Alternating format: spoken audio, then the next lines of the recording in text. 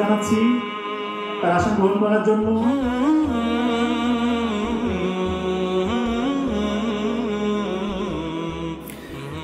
সম্মানিত উপস্থিতি কেমন আছেন আপনারা? আলহামদুলিল্লাহ। দেশের বাহিরে দিনের দাওয়াতের এই মিশনে এটাই আমার প্রথম সফর, আলহামদুলিল্লাহ। যারা ব্যবস্থাপনায় আছেন, যারা অর্থ দিয়ে, সময় দিয়ে, শ্রম দিয়ে ম্যানেজমেন্ট দিয়ে এই প্রোগ্রামটাকে সাকসেস সাকসেসফুল করেছেন, আমরা তাদের সবার জন্য দোয়া করি। আল্লাহ পাক যেন সকলকে দীর্ঘ ন্যায় খায়াত দারাজ করেন আমি এবং দিনের জন্য আল্লাহ রবুল্লাহ আলমিন যেন এই গুটি কয়েক মানুষকে দিনের বিজয়ের জন্য কবুল করেন, সকলেই বলে আমি সকাল থেকে ভাবছিলাম যে কী নিয়ে আলোচনা করা যায়। আর এই মেগা সিটিগুলোতে আসলে একটা হাদিসই বারবার মনে পড়ে যে হাদিসটাকে আমরা হাদিসে জিবরিল বলি। যদিও আজকে আমি হাদিসে জিবরিল নিয়ে আলোচনা করছি না। এই হাদিসে জিবরিলের মধ্যে জিব্রাইল আলী ইসালাম মানুষের রূপ ধরে জনগণের সামনে নবী সাল আলী আসাল্লামের কাছে এসে হাঁটুর সাথে হাঁটু লাগিয়ে বসে চারটা প্রশ্ন করেছিলেন। তার প্রথম প্রশ্নটা ছিল যে ইসলাম কাকে বলে? ইমান কাকে বলে? এহসান কাকে বলে? এবং কেয়ামত কবে হবে? চতুর্থ প্রশ্নের উত্তরে নবী সাল আলী হাসাল্লাম বলেছিলেন, মাল মাসউল আনহা বিআ আলামা মিনাসাইল যে বিষয়ে জানতে চেয়েছেন, এ বিষয়ে প্রশ্নকারী উত্তরদাতার চেয়ে বেশি জানে না। বা উত্তরদাতা প্রশ্নকারীর চেয়ে বেশি জানে না। মানে কেউই জানে না এক্স্যাক্টলি কখন কেয়ামত হবে। তখন তিনি পঞ্চম প্রশ্ন করেছেন, জিব্রাইল আলী ইসালাম বলেছিলেন যে আখবিরনি আন আমারতিহা। তাহলে কিছু আলামত বলে দিন। তো নবী সাল আলী হাসাল্লাম দীর্ঘ তেইশ বছরের এই নববী জীবনে অনেক আলামতই বলেছেন। এই হাদিসে গিয়ে তিনি মাত্র দুটো আলামত বলেছেন। এক যখন দেখবে দাসী তার মনিবকে জন্ম দিচ্ছে। দাসী তার মনিবকে জন্ম দেওয়ার অর্থ হচ্ছে, সমাজে ন্যায় অন্যায়, হক বাতিল, সত্য মিথ্যা ভালো মন্দের মানদণ্ড উল্টে যাবে। কারণ দাসী কখনো মনিবকে জন্ম দেয় না। এটা উল্টা বোঝানো হচ্ছে। আর আমরা এখন আখরুজ্জামান নিয়ে স্টাডি করলে তাই দেখি। এ যুগে সত্য মিথ্যা হয়ে যাচ্ছে, মিথ্যা সত্য, হক বাতিল হয়ে যাচ্ছে, বাতিল হক হয়ে যাচ্ছে, ন্যায় অন্যায় হয়ে যাচ্ছে, অন্যায় ন্যায় হয়ে যাচ্ছে। হক এবং বাতিলের চিরায়ত মানদণ্ড যে কোরআন এবং হাদিস, আল্লাহ রবুল আলমিনের ঐশী গ্রন্থ, এই কনসেপ্টটাই বেশিরভাগ মানুষ গ্রহণ করতে চাচ্ছে না। এর আরও ব্যাখ্যা হতে পারে, দাসী সত্যি সত্যি মনিবকে জন্ম দিতে পারে, যেটার জন্য আমরা যদি সিঙ্গাপুরের মতো কান্ট্রির দিকে তাকাই তাহলে বুঝতে পারব। কীভাবে দাসী তার মনিবকে জন্ম দিচ্ছে? আমি আজকে ব্যাখ্যা করছি না। আরেকটা অর্থ হতে পারে, সত্যি সত্যি পিতামাতার সাথে দাস দাসীর মতো আচরণ করা হবে। বর্তমান সমাজে কিন্তু এটাও হচ্ছে। আরেকটা আলামত নবী সাল আলী হাসাল্লাম বলেছিলেন এই হাদিসে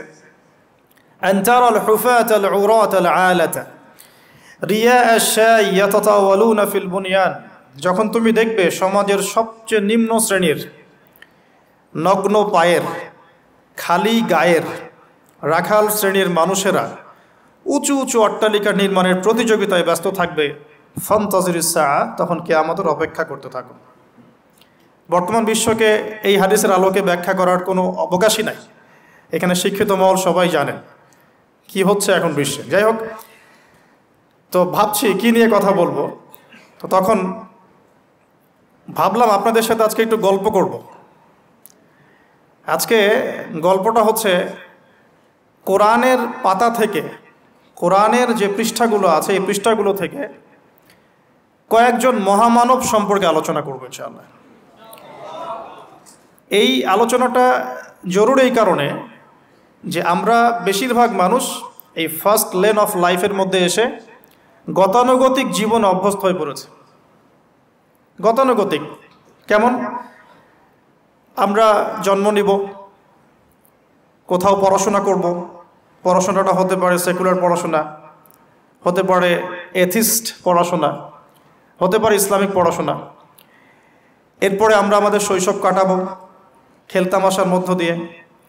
কৈশোরে যাব, আর কৈশোর মানে এখন কিশোর গ্যাং। আপনারা হয়তো অনলাইনের মধ্যে সবাই জানেন বিষয়গুলো। সব দেশের পরিস্থিতি একরকম নয়, তবে আমি আমার পরিবেশ থেকে কথা বলছি আর। এরপরে আমরা যৌবনে যাই, আর যৌবনে গিয়ে আমরা আমাদের নিজেদেরকেই বিশ্বের সব কিছু মনে করি। দুনিয়ার সব কিছু আমরাই। এই যৌবনকালটাকে আমরা বেশিরভাগ যুবকই আল্লাহ পাকের পথে উৎসর্গ করার মানসিকতা রাখি না। আমরা আনন্দ, ফুর্তি খেলতামাশা হারাম অ্যাফেয়ার্স মাদকদ্রব্য, কোনো কোনো সময় পলিটিক্যাল অ্যাফেয়ার্স এইসবে ব্যস্ত হয়ে থাকি। যৌবনটা আমরা এভাবে নষ্ট করি, বেশিরভাগ মানুষ। এরপরে আমরা চলে যাই জব সেকশনে বিবাহ শাদী করার পরে রেসপন্সিবিলিটি আসে জবে ঢুকি, জব করি, স্ত্রী সন্তান হয়, তাদেরকে ভরণ পোষণ দিতে হয়, আল্লাহকে ডাকার সময়টা খুব একটা হয়ে ওঠে না। শেষ বয়সে গিয়ে ফিকির হয় যে আমার জীবন থেকে ফর্টি ফিফটি ইয়ার্স চলে গেছে। Now I should you turn towards Allah সুবাহ আলা ব্যাস, তখন আমি চিন্তা করে একটা চিল্লা দিব, একটা উমরা করব বা একটা হজ করব, এবং আমি আমার সমস্ত সিন থেকে মুক্ত হয়ে যাব। আমরা একটা গতানুগতিক লাইফস্টাইলে অভ্যস্ত হয়ে গেছে। সকাল থেকে শুরু করে রাত পর্যন্ত ম্যাক্সিমাম মানুষের চিন্তা এখন বস্তুবাদিতা। বস্তুবাদিতা মানে মেটেরিয়ালিজম মানে দুনিয়া দুনিয়া এবং দুনিয়া। মানে কি করলে আমার দুনিয়াতে ভালো হবে? কি করলে আমার খাবারটা ভালো হবে, বাড়িটা ভালো হবে, রিজিকটা ভালো হবে, আমার স্ত্রী সন্তান একটু ভালো থাকবে? এই যে চিন্তাগুলো আল্লাহ এবং তার রাসুলকে অ্যাভয়েড করে এই যে চিন্তাগুলো, এই চিন্তাটাকে আমরা বলি বস্তুবাদিতা। মেটেরিয়ালিজম দেখবেন গতানুগতিক লাইফস্টাইলে এখন এই পৃথিবীর বেশিরভাগ মানুষ বস্তুবাদী। এটা দেখার জন্য, বোঝার জন্য জাস্ট আপনার হৃদয়ের চোখ, হৃদয়ের কান, হৃদয়ের ইন্দ্রিয়গুলো একটু উন্মুক্ত করতে হবে। আর হৃদয়ের চোখ, হৃদয়ের কান উন্মুক্ত হবে তখনই যখন আমরা আল্লাহ এবং তার রসুলের সামনে আত্মসমর্পণ করব। তার আগে নয়। তো বেশিরভাগ মানুষ বস্তুবাদিতায় লিপ্ত থাকে। আবার দেখি কিছু মানুষের সারাদিন ফিকির একটাই পলিটিক্স পলিটিক্যাল অ্যাফেয়ার্স পলিটিক্স কীভাবে পলিটিক্স করব। কীভাবে অপোজিশনকে ডমিনেট করা যায়? কি করলে তার ক্ষতি করা যাবে? কি করলে তাকে ওভারটেক করে আমি সামনে যেতে পারব? কিছু মানুষের চিন্তা ইকোনমিক সেকশনে আল মাল আল মাল, কীভাবে মাল অর্জন করা যাবে? আমার দুইতলা বাড়ি আছে, কীভাবে চারতলা হবে? দুইটা বিজনেস আছে, কীভাবে দশটা হবে, পাঁচটা হবে? আমার একশো শতাংশ জমি আছে, কীভাবে দুইশো শতাংশ হবে? আল মাল আল মাল। এই এই শ্রেণির মানুষকে নবী সাল আলী হাসাল্লাম আব্দুদ দিনার বলেছেন। দিনারের দাস। আবদুল্লাহ নয়, আল্লাহর দাস নয়, দিনারের দাস। আরও কিছু মানুষ আছে আমরা। এখন সায়েন্স এবং টেকনোলজির অগ্রগতির খোরা অজুহাত তুলে সরাসরি আল্লাহকে ডিনাই করে ফেলছে। এবং এই মতাদর্শ সমাজে বাস্তবায়নের চেষ্টাও করছে। এডুকেশন সেক্টরে হোক, সংস্কৃতির নামে হোক সামাজিক অ্যাসোসিয়েশনের নামে হোক, মুক্ত চিন্তার নামে হোক, আমরা ডে বাই ডে যুব সমাজের একটা বড় অংশকে এজিস বানাচ্ছি। আবার কিছু মানুষ সারাদিন সংস্কৃতি নিয়ে পড়ে আছে, গান, বাজনা, নাট্য, কলা ইত্যাদি ইত্যাদি। কিছু মানুষ সারাটা জীবন ঢোল তবলায় কাটিয়ে দিচ্ছে। কিছু মানুষ সারাটা জীবন একটা গিটারকে নিয়ে কাটিয়ে দিচ্ছে, একটা মিউজিক্যাল ইনস্ট্রুমেন্ট নিয়ে কাটিয়ে দিচ্ছে। কিছু কিছু দিনই বোন সারাটা জীবন অপসংস্কৃতির অন্ধ অনুকরণে কাটিয়ে দিচ্ছেন। এবং আপনাদের কাছে সরি ফর মাই ল্যাঙ্গুয়েজ অনেক সময় মনে হচ্ছে সৌন্দর্যই সব কিছু আল্লাহ রবুল্লা আলমিন হয়তো বা মনে হয় আমার বাহ্যিক সৌন্দর্য দেখেই বিচার করবেন। ভাবতে এরকম। কিছু কিছু যুব সমাজ সারাদিন PUBG free fire mobile games addiction YouTubing Facebooking অস্থির অবস্থা, অস্থির।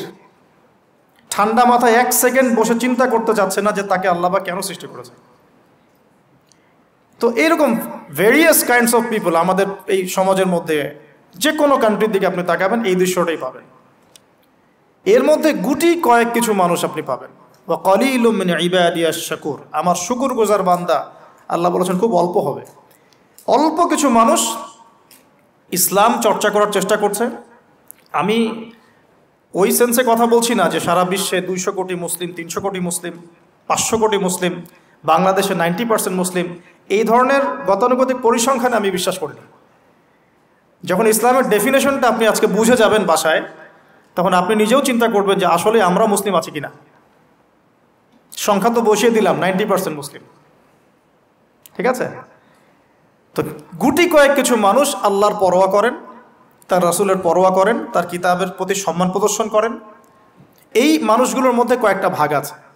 এক ভাগ মানুষ পরিপূর্ণ মমিন মাসা আল্লাহ আমরা দোয়া করে আল্লাহবাক তাদের সংখ্যা বাড়িয়ে দেন। এক ভাগ মানুষ আছেন, পরিপূর্ণ মুসলিম। উদ্হলু ফিসিলমি কাফার উপর আমল করে। অর্থাৎ তোমরা পরিপূর্ণরূপে ইসলামে প্রবেশ করো। এই আয়াতের উপর তারা আমল করে। এক শ্রেণির মানুষ আছেন মুজাবজাবি না বাইনা হোম মানে ডান বামের মাঝখানে থাকেন। যখন স্রোত যেদিকে, সেদিকে ফ্লো এবং এর মধ্যে কিছু দাড়ি টুপিওয়ালা মানুষও আছেন। যেদিকে ফ্লো সেদিকে কথা। যেদিকে ফ্লো সেদিকে অ্যাক্টিভিটিস তার নিজস্ব একটা স্বতন্ত্র অবস্থান নাই, এটাই হক। এরকম একটা অবস্থান নাই। কিছু মানুষ আছেন, আল্লাহ এবং তার রাসুলকে বিশ্বাস করেন, কিন্তু কাজ করতে গিয়ে কবিরা গুণায় লিপ্ত হচ্ছে।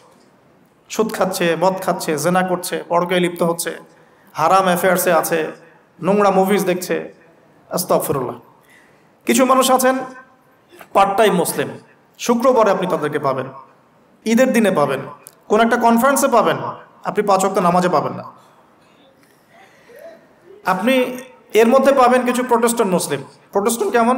কালিমা তো পড়েছি ইলাহা ইল্লাল্লাহ, আল্লাহ মাফ করে দিবে। এই যে চিন্তা মাথায় বসিয়ে নিয়েছে, সে আমলকে ইমানের অংশ মনে করছে না। কালিমা একদিন পড়েছি ইলাহা ইল্লাল্লাহ, মুহাম্মাদুর রাসূলুল্লাহ। ব্যাস, আমি জান্নাতে চলে যাব প্রোটেস্টন ভার্সন অফ ইসলাম এরকম অনেক ভার্সন আছে। ইসলামের মধ্যেই কেউ আছে সুবিধাবাদী মুসলিম, কেউ ফাসেক মুসলিম, কেউ জালেম মুসলিম, কেউ হচ্ছে মোনাফেক টাইপের কেউ প্রোটেস্টন খাঁটি আল্লাহর বান্দা, খাঁটি মুমিন, খাঁটি মুসলিম, এই মানুষগুলোকে মোটিভেট করার জন্য আজকের টপিক আসুন কিছু মহামানবের গল্প শুনি। শুরু করতে চাই আমাদের আদি পিতা আদম আলি ইসাল্লামকে দিয়ে। কেন এত বড় লম্বা ভূমিকা দিলাম? কারণ আমরা কেউ প্রোটেস্ট্যান্ট মুসলিম থাকতে চাই না।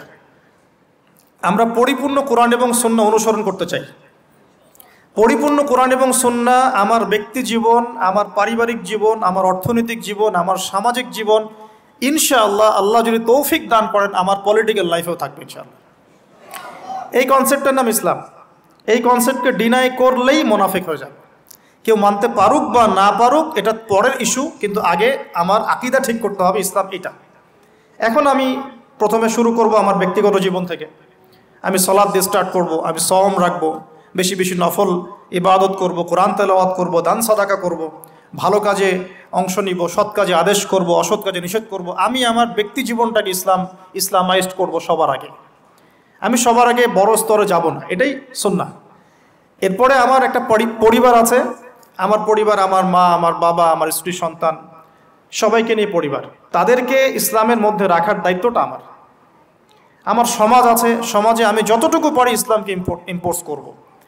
ইকোনমিক সেকশনে গিয়ে আমি হালাল হারামের পরোয়া করব না, এমন মানুষ হব না। আমি সেখানে হালাল হালাল খাব, হারাম থেকে দূরে থাকব। যদি আল্লাহবাক আমাকে পলিটিক্যাল ক্ষমতা দেন, আমি আমার জায়গা থেকে চেষ্টা করব ইসলামকে ইম্পোজ করার জন্য। অ্যাটলিস্ট কুফর, শিরিক এবং তাগুদকে স্ট্যাবলিশ করব না। কিছু করতে পারি না, পারি অ্যাটলিস্ট কুফর, শিরক এবং তাগুদকে স্ট্যাবলিশ করব না। মোটা দাগে কথা বললে অনেক হার্ড কথা হয়ে যায়। পুরো ওয়ার্ল্ডের গ্লোবাল অ্যাফেয়ার্সই এখন তাগুদের উপরেই আছে। আপনি কত বড় সংস্থার নাম নেবেন? World Bank IMF United Nations কোনো অ্যাসোসিয়েশনের মধ্যে একশো পার্সেন্ট কেন? টেন পার্সেন্ট ইসলাম নাই। তো এখন আমাদের করণীয়, নিজের ব্যক্তি জীবন থেকে যখন ইসলাম বিদায় নিচ্ছে, তখন ওই লেভেলে কথা বলাই তো আমার জন্য দুষ্কর। এটা তো অপরাধ, আমার জন্যই অপরাধ। তো আমাদের ফার্স্ট অফ অল স্টার্ট করতে হবে ব্যক্তি জীবন থেকেই। দেন পরিবার, সমাজ গ্র্যাজুয়ালি উই উইল অ্যাডভান্স ইনশাআল্লাহ তালা এখন আকিদাকে স্পষ্ট করলাম। আল্লাহ পাক সুরা মুলকের মধ্যে একটা কথা বলছেন, এই আয়াতটা থেকে আমি সামনে যাচ্ছি। আল্লাহ পাক, আপনারা সবাই সুরা মুলক আজকে তেলাওয়াত করবেন বাসায় গিয়ে, কারণ রাতের বেলা সুরা মুলক পড়াটা কিন্তু না এখানে আল্লাহ রবুল্লাহ আলমী একটা কথা বলেছেন আল্লাহ পাকের হাতেই রাজত্ব কর্তৃত্ব। তিনি সমস্ত বিষয়ের উপর কর্তৃত্বশীল। আল্লাদি খালাকাল মেউজাওয়াল হায়াতা যিনি মৃত্যু এবং জীবন সৃষ্টি করেছেন কি রিজনে কি কারণে? লিয়াবলুয়াকুম আইয়ুকুম আহসানু আমালা। আল্লাপাক দেখতে চান আমাদের মধ্যে আমলে আহসানকে। অনেক লেকচারে আমি আহসান শব্দটার অ্যাপ্রোপ্রিয়েট ব্যাখ্যা পাইনি। স্কলারদের কাছে লেকচারারদের কাছে। হাসান শব্দটার সুপারলেটিভ ফর্ম হচ্ছে আহসান। হাসান মানে হচ্ছে ভালো, উত্তম। ভালো, খাবারটা ভালো। আহসান, খাবারটা অনেক বেশি ভালো। হাসান মানে উত্তম, আহসান অনেক বেশি উত্তম। বলি আমরা কবির মানে বড়, আকবার সবচেয়ে বড়। সগির মানে ছোট, আসগর মানে সবচেয়ে ছোট। এটা এটাকে বলা হয় ইসমে তফজিলের সিগা মানে সুপারলেটিভ ফ্রম ইংরেজিতে আমরা যেটা বলি। তো আল্লাপাক এই আয়াতে একটু খেয়াল করে দেখেন আল্লাপাক কিন্তু আমাদেরকে গতানুগতিক মুসলিম হিসেবে দেখতে চাচ্ছেন না। আল্লাপাক বলছেন, আমি দেখতে চাই তোমাদের মধ্যে আমলে আহসানকে ব্যাস, এই এই শব্দটা যদি বুঝতে পারি, আজকের আলোচনার ভিতরে ঢুকতে পারব ইনশাআল্লাহ। আমি কি আহসানটা বোঝাতে পেরেছি? আল্লাপাক দেখতে চান না আমাদের মধ্যে আমলে, আকিদায় ইমানে তাকোয়ায় এগুলোতে গতানুগতিক কে? আল্লাপাক দেখতে চান আমাদের মধ্যে আমলে বেস্ট কে শ্রেষ্ঠটাকে এখন, কোরআনের পাতাগুলো যদি ঘেটে আমরা শেষ করি, একটা খতম দিয়ে একটা মাসে, চেষ্টা করবেন এক মাসে এক খতম দেওয়ার জন্য, আল্লাহ তৌফিক দান করুন। প্রতিদিন এক পারা করে পড়লে এক মাসে এক খতম হয়ে যায়। আর বছরে অন্তত একবার পুরো কোরআনটা অর্থসহ পড়তে হবে। পারা যাবে ইনশাল্লাহ বছরে অন্তত একবার পুরো কোরআনটাকে অর্থসহ আমরা পড়ার চেষ্টা করব। এই পাতাগুলো যদি আমরা উল্টাই, তাহলে দেখব কোরআনের মধ্যে আল্লাহ রবুল্লা আলমিন কাফেরদের কথা বলেছেন, জালেমদের কথা বলেছেন, ফাসেকদের কথা বলেছেন, মোত্তাকি মিন মুসলিমদের কথা বলেছেন। এবং আল্লাপাক যে শব্দটা চাচ্ছেন আমাদের কাছে, আহসান এই আহসান কিছু মানুষের কথা আল্লাপাক কোরআনে বলেছেন। আজকে ওইটাই গল্প। সুরাতুল বাকরার আয়াত নাম্বার দুশো সাত আট। এই দুটো আয়াত একটু পড়ে দেখবেন। আল্লাপাক বলছেন রাজিম। ওয়ামিনান নাস, আল্লাহ বলছেন, মানুষের মধ্যে কিছু মানুষ আছে। সবাই না। ওয়ামিনান নাস, মানুষের মধ্যে কিছু মানুষ আছে যারা কিনা মাইয়াশ্রী যেই মানুষগুলো আল্লাহ পাকের সন্তুষ্টির জন্য তাদের নফসটাকে বিক্রি করে দিয়েছে। চারটাখানি কথা না কিন্তু। মানুষের মধ্যে, আল্লাহ কিন্তু সুরা বাকারায় বলেছেন, শুরুর দিকে, মানুষের মধ্যে কিছু মানুষ আছে যারা মহমিন কিছু মানুষ আছে যারা কাফের, কিছু মানুষ আছে যারা মোনাফেক, শুরুর দিকে পাবেন এখানে আল্লাপাক বলছেন, মানুষের মধ্যে কিছু মানুষ আছে যারা তাদের নফসটাকে আল্লাহর সন্তুষ্টির জন্য বিক্রি করে দিয়েছে মানে তাদের জীবনের মূল থিমটাই হচ্ছে আল্লাহকে সন্তুষ্টি অর্জন করা। কোনো কিছুকেই তারা আল্লাহ সন্তুষ্টির উপর প্রাধান্য দিবে না। যদি কোটি টাকার অফার আসে হারাম, সে সে রিজেক্ট করবে, আল্লাহ নারাজ হবে। একটা সুন্দরী মেয়ে যদি সেনার অফার করে, সে রিজেক্ট করবে, কারণ সে আল্লাহকে ভয় করে। সে আল্লাহ পাকের জমিনের উপরে গাইরুল্লাহ বা কুফারদের তাগুদদের কোনো লজ ইমপ্লিমেন্ট করতে পারবে না, কারণ সে আল্লাহকে ভয় করে। সে ইকোনমিক লাইফে হালাল হারামের পরোয়া করে চলবে, কারণ সে আল্লাহকে ভয় করে। সে তার পরিবারে পর্দা এস্টাবলিশ করবে বিকজ সে আল্লাহকে ভয় করে। মানে আল্লাহ পাকের সন্তুষ্টির জন্য নিজের নফসটাকে, জান, মাল সবকিছুকে বিলিয়ে দিয়েছে। এই মানুষগুলো সম্পর্কে আল্লাহ বলছেন বিল এই মানুষগুলোর প্রতি আল্লাহ পাক রউফ হবেন। কোমল, নরম সফট হয়ে যাবে সুফান কোমল, নরম সফট মানে কি? কে আমাদের মাঠে ডাকা হবে। এই গোনাগুলো করেছিলে? জি আল্লাহ, আমি এই গোনাগুলো করেছি। আল্লাহ পাক পর্দা দিয়ে দিবেন। পর্দার পরে বলবেন যে, দুনিয়াতে তোমার এই গোনাগুলো আমি গোপন করে রেখেছিলাম, আজকেও সবগুলো গোপন করে দিলাম, জান্নাতে চলে যাও। আল্লাহ রউফ আল্লাহ পাক তার বান্দার প্রতি রউফ, কোমল হবে। দুনিয়াতে রউফ কেমন? যে কোনো বিপদ আপদ, বলা মুসিবতে সেই ব্যক্তি হাঁটু করে আল্লাহর কাছে চাবে। আল্লাহ আমার এই সমস্যা, আল্লাহ আমার এই সমস্যা, আল্লাহ আমার এই সমস্যা। আল্লাহ রউফম বিল ইবাদ। আল্লাহ পাক ওই বান্দার প্রতি সফট, কোমল হয়ে যাবে। এগুলোর অনেক প্রমাণ আমি আমার জীবনও পেয়েছি। এগুলো আমি পাবলিকলি বলতে পারব না, আর আপনি ব্যাখ্যাও করতে পারব না। আর এমন কিছু বিষয় আছে যেগুলো আসলে মানুষকে বলেও বোঝানো যায় না। বড় বড় স্কলারদের কিতাব এখন যখন পড়ি, তারা বলেন কি বলব, তোমরা তো বুঝবেই না। মানে এমন একটা লেভেলে মানুষ চলে যায় যে ওই লেভেলের কথা সবাইকে বোঝানো যায় না। কীভাবে বলব, কীভাবে ব্যাখ্যা করব। কোন আবেগ নিয়ে আসব, কোন শব্দ নিয়ে আসব, আমি আপনাকে বোঝাতে পারব না। এরকম একটা অবস্থান থাকে। একজন সাহাবির নাম বলি আলী ইবনে আবি তালেব রাদিয়াল্লাহু আনহু। আপনি তার পুরো জীবনী পড়লে তাকে খুব সফট পাবেন, নিজেকে গোপনকারী পাবেন। খুব বেশি উচ্ছ্বাস প্রকাশকারী পাবলিক ফিগার হ্যাঁ এই যে আমরা শো অফ নিজেকে জাহির করা আপনি পাবেন না তাকে। এবং তিনি শেষ জীবনে কি বলেছেন জানেন? শেষ জীবনে বলেছেন যে যে জ্ঞান আমি নবী সাল আলী আসাল্লামের কাছ থেকে পেয়েছি, সেগুলোকে সুষ্ঠুভাবে বন্টন করার মতো কাউকে পেলাম না জীবনে। মানে একটা লেভেল থাকে মানুষের, আল্লাহ পাকের মারেফত লাভের। যে লেভেলে গিয়ে মানুষ সবার সাথে আমভাবে কিছু বলতে পারে না। তা আমি ওই লেভেলে কিছু ফিল করছি, কিছু নির্যাস পাচ্ছি যে আমি আপনাকে বুঝাতে পারছি না। যাই হোক আল্লাহ পাক রউফ মানে এত সফট হবেন। জীবনের যে কোনো পদে আপনি আল্লাহকে ডাকবেন, আল্লাহ আপনার ডাকে তাৎক্ষণিক সারা দেবেন ইনশাআল্লাহ। ইনশাআল্লাহ। ইনশাআল্লাহ আজাল এখন, পাতাগুলো ঘাটলে আমরা প্রথম এইরকম কোন মানুষকে পাই, যারা নিজের নবসটাকে আল্লাহর জন্য উৎসর্গ করে দিয়েছেন? এক নাম্বার পাচ্ছি আমরা আমাদের আদি পিতা আদম আলহিসাল্লাম আজকে ডিটেলস আয়াত বাই আয়াত বলার সময় পাচ্ছি না, তবে আমি সামারি বলছি, আপনারা একটু বাসায় পড়ে নেবেন। আদম আলী ইসালামকে আল্লাহ রবুল্লা আলমী নিজের হাত দিয়ে সৃষ্টি করেছেন সুফান এখন আল্লাহ পাকের হাত কি, কেমন, কীভাবে, ব্যাখ্যা করতে পারব না। এবং এই ব্যাখ্যা করা আমাদের জন্য জরুরি নয়। আল্লাহ পাক যা বলেছেন বাস কোনো কিছুর সাথে সাদৃশ্যপূর্ণ নয়, কোনো কিছুর এক্সাম্পল তার সাথে শোভনীয় হবে না। জাস্ট আল্লাপাক বলেছেন হলাক্তু বিয়ে দেই আমি আদমকে সৃষ্টি করেছি আমার দুই হাত দিয়ে। ব্যাস, এই পর্যন্ত ফুল স্টপ এগুলো হচ্ছে কোরআন শোনার কিছু মূলনীতি। আল্লাপাক বলেছেন আর রহমান আল আরশ ইস্তাওয়া রহমান আরশের উপরে সমুন্নত। কোন হালতে কি অবস্থায় আছেন, ব্যাখ্যা করতে পারব না। দরকার নাই। ফুল স্টপ আদম আলী ইসলামকে সবচেয়ে বড় যে নেয়ামত আল্লাপাক দিয়েছেন, সেটা হলো আদম আলী ইসলামকে আল্লাপাক তার পক্ষ থেকে ইলেম শিক্ষা দিয়েছেন সুফান আল্লাপাক প্রথমেই তাকে সৃষ্টি করে ফেরেস্তাদেরকে দিয়ে সিজদা করার নাই। আল্লাপাক তাকে আগে জ্ঞান শিক্ষা দিয়েছেন, সোরা বাকারা সুর দিকে আছে। ও কুল্লাহা। আমি আদমকে যত রকম জ্ঞান আছে, আসমা কুল্লাহা মানে যত রকম নাম এবং জ্ঞান আছে, সবই শিখিয়েছে আদম আলী ইসলামকে উম্মাহ আজকে পিছিয়ে পড়েছে, আদম আলী ইসালাম এই মহামানবের জ্ঞানতাত্ত্বিক সুন্নত না নিয়ে। আজকে আমরা লেকচার শুনতে চাই ইউটিউব ফেসবুক থেকে দিন শিখতে চাই, আমরা জ্ঞান অর্জন করতে চাই না। আপনি একটা লেকচারে ডাকেন, আপনি দুই তিন লাখ লোক পাবেন। বাংলাদেশেই তো হচ্ছে দুই তিন চার পাঁচ লাখ লোক।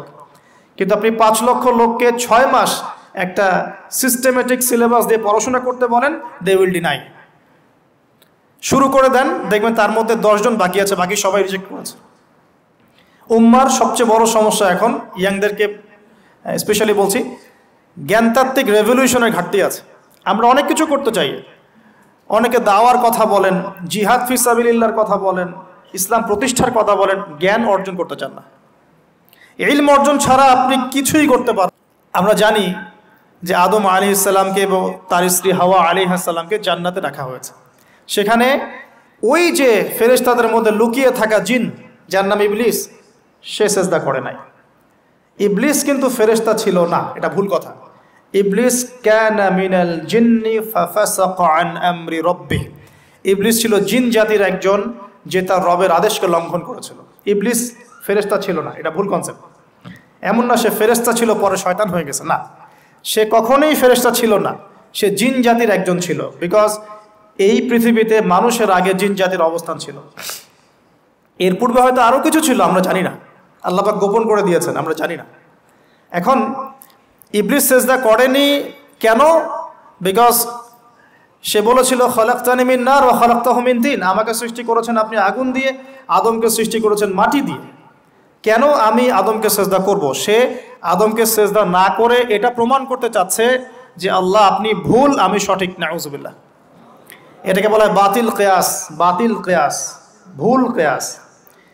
এবং শুধু তাই নয়, আল্লাহ রবুল্লা আলমিন তাকে ওয়ার্ন করার পরেও সে কিন্তু ইউটার্ন করে তবা করে ফিরে আসে নাই। সে তার মতের উপর অটল ছিল।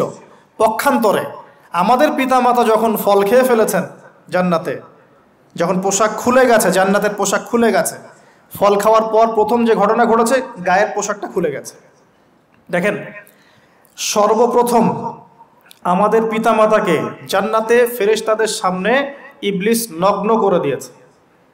এটা ছিল আমাদের প্রতি ইবলিসের সবচেয়ে বড় আঘাত শুরুতে, প্রথম আঘাত।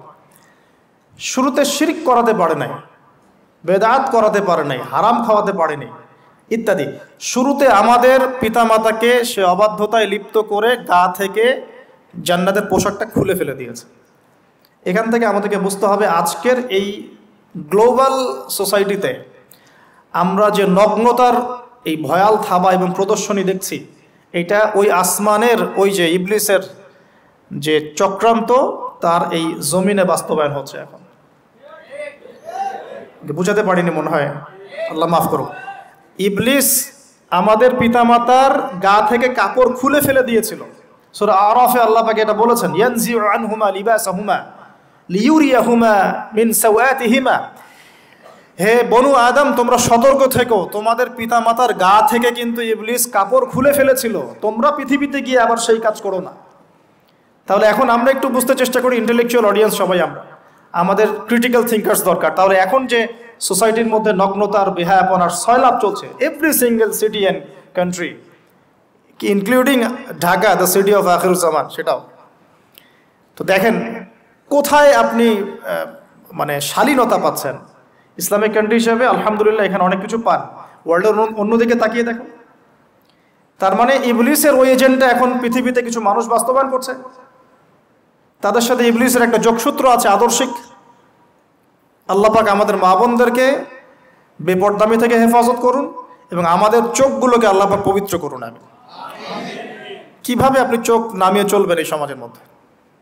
এতে এত সহজ নয়। আমরা খুব ভালো করে জানি এটা এত সহজ নয়। তো দেখুন, অনেক ভিতরে চলে যাচ্ছি। আদম আলী ইসাল্লাম হাওয়া আলী হাসাল্লামকে সর্বপ্রথম নগ্ন করে দিয়েছেন, দিয়েছে ইবলিস। তারা কিন্তু তওবা করে ফিরে এসেছেন কি সেটা? রব্বানা, আমরা বলি রব্বানা জলামনা আংফুসানা ওয়াইল্লাম তা গফিরলানা ওয়া তরহামনা লানাকুনান্না মিনাল খাসিরিন।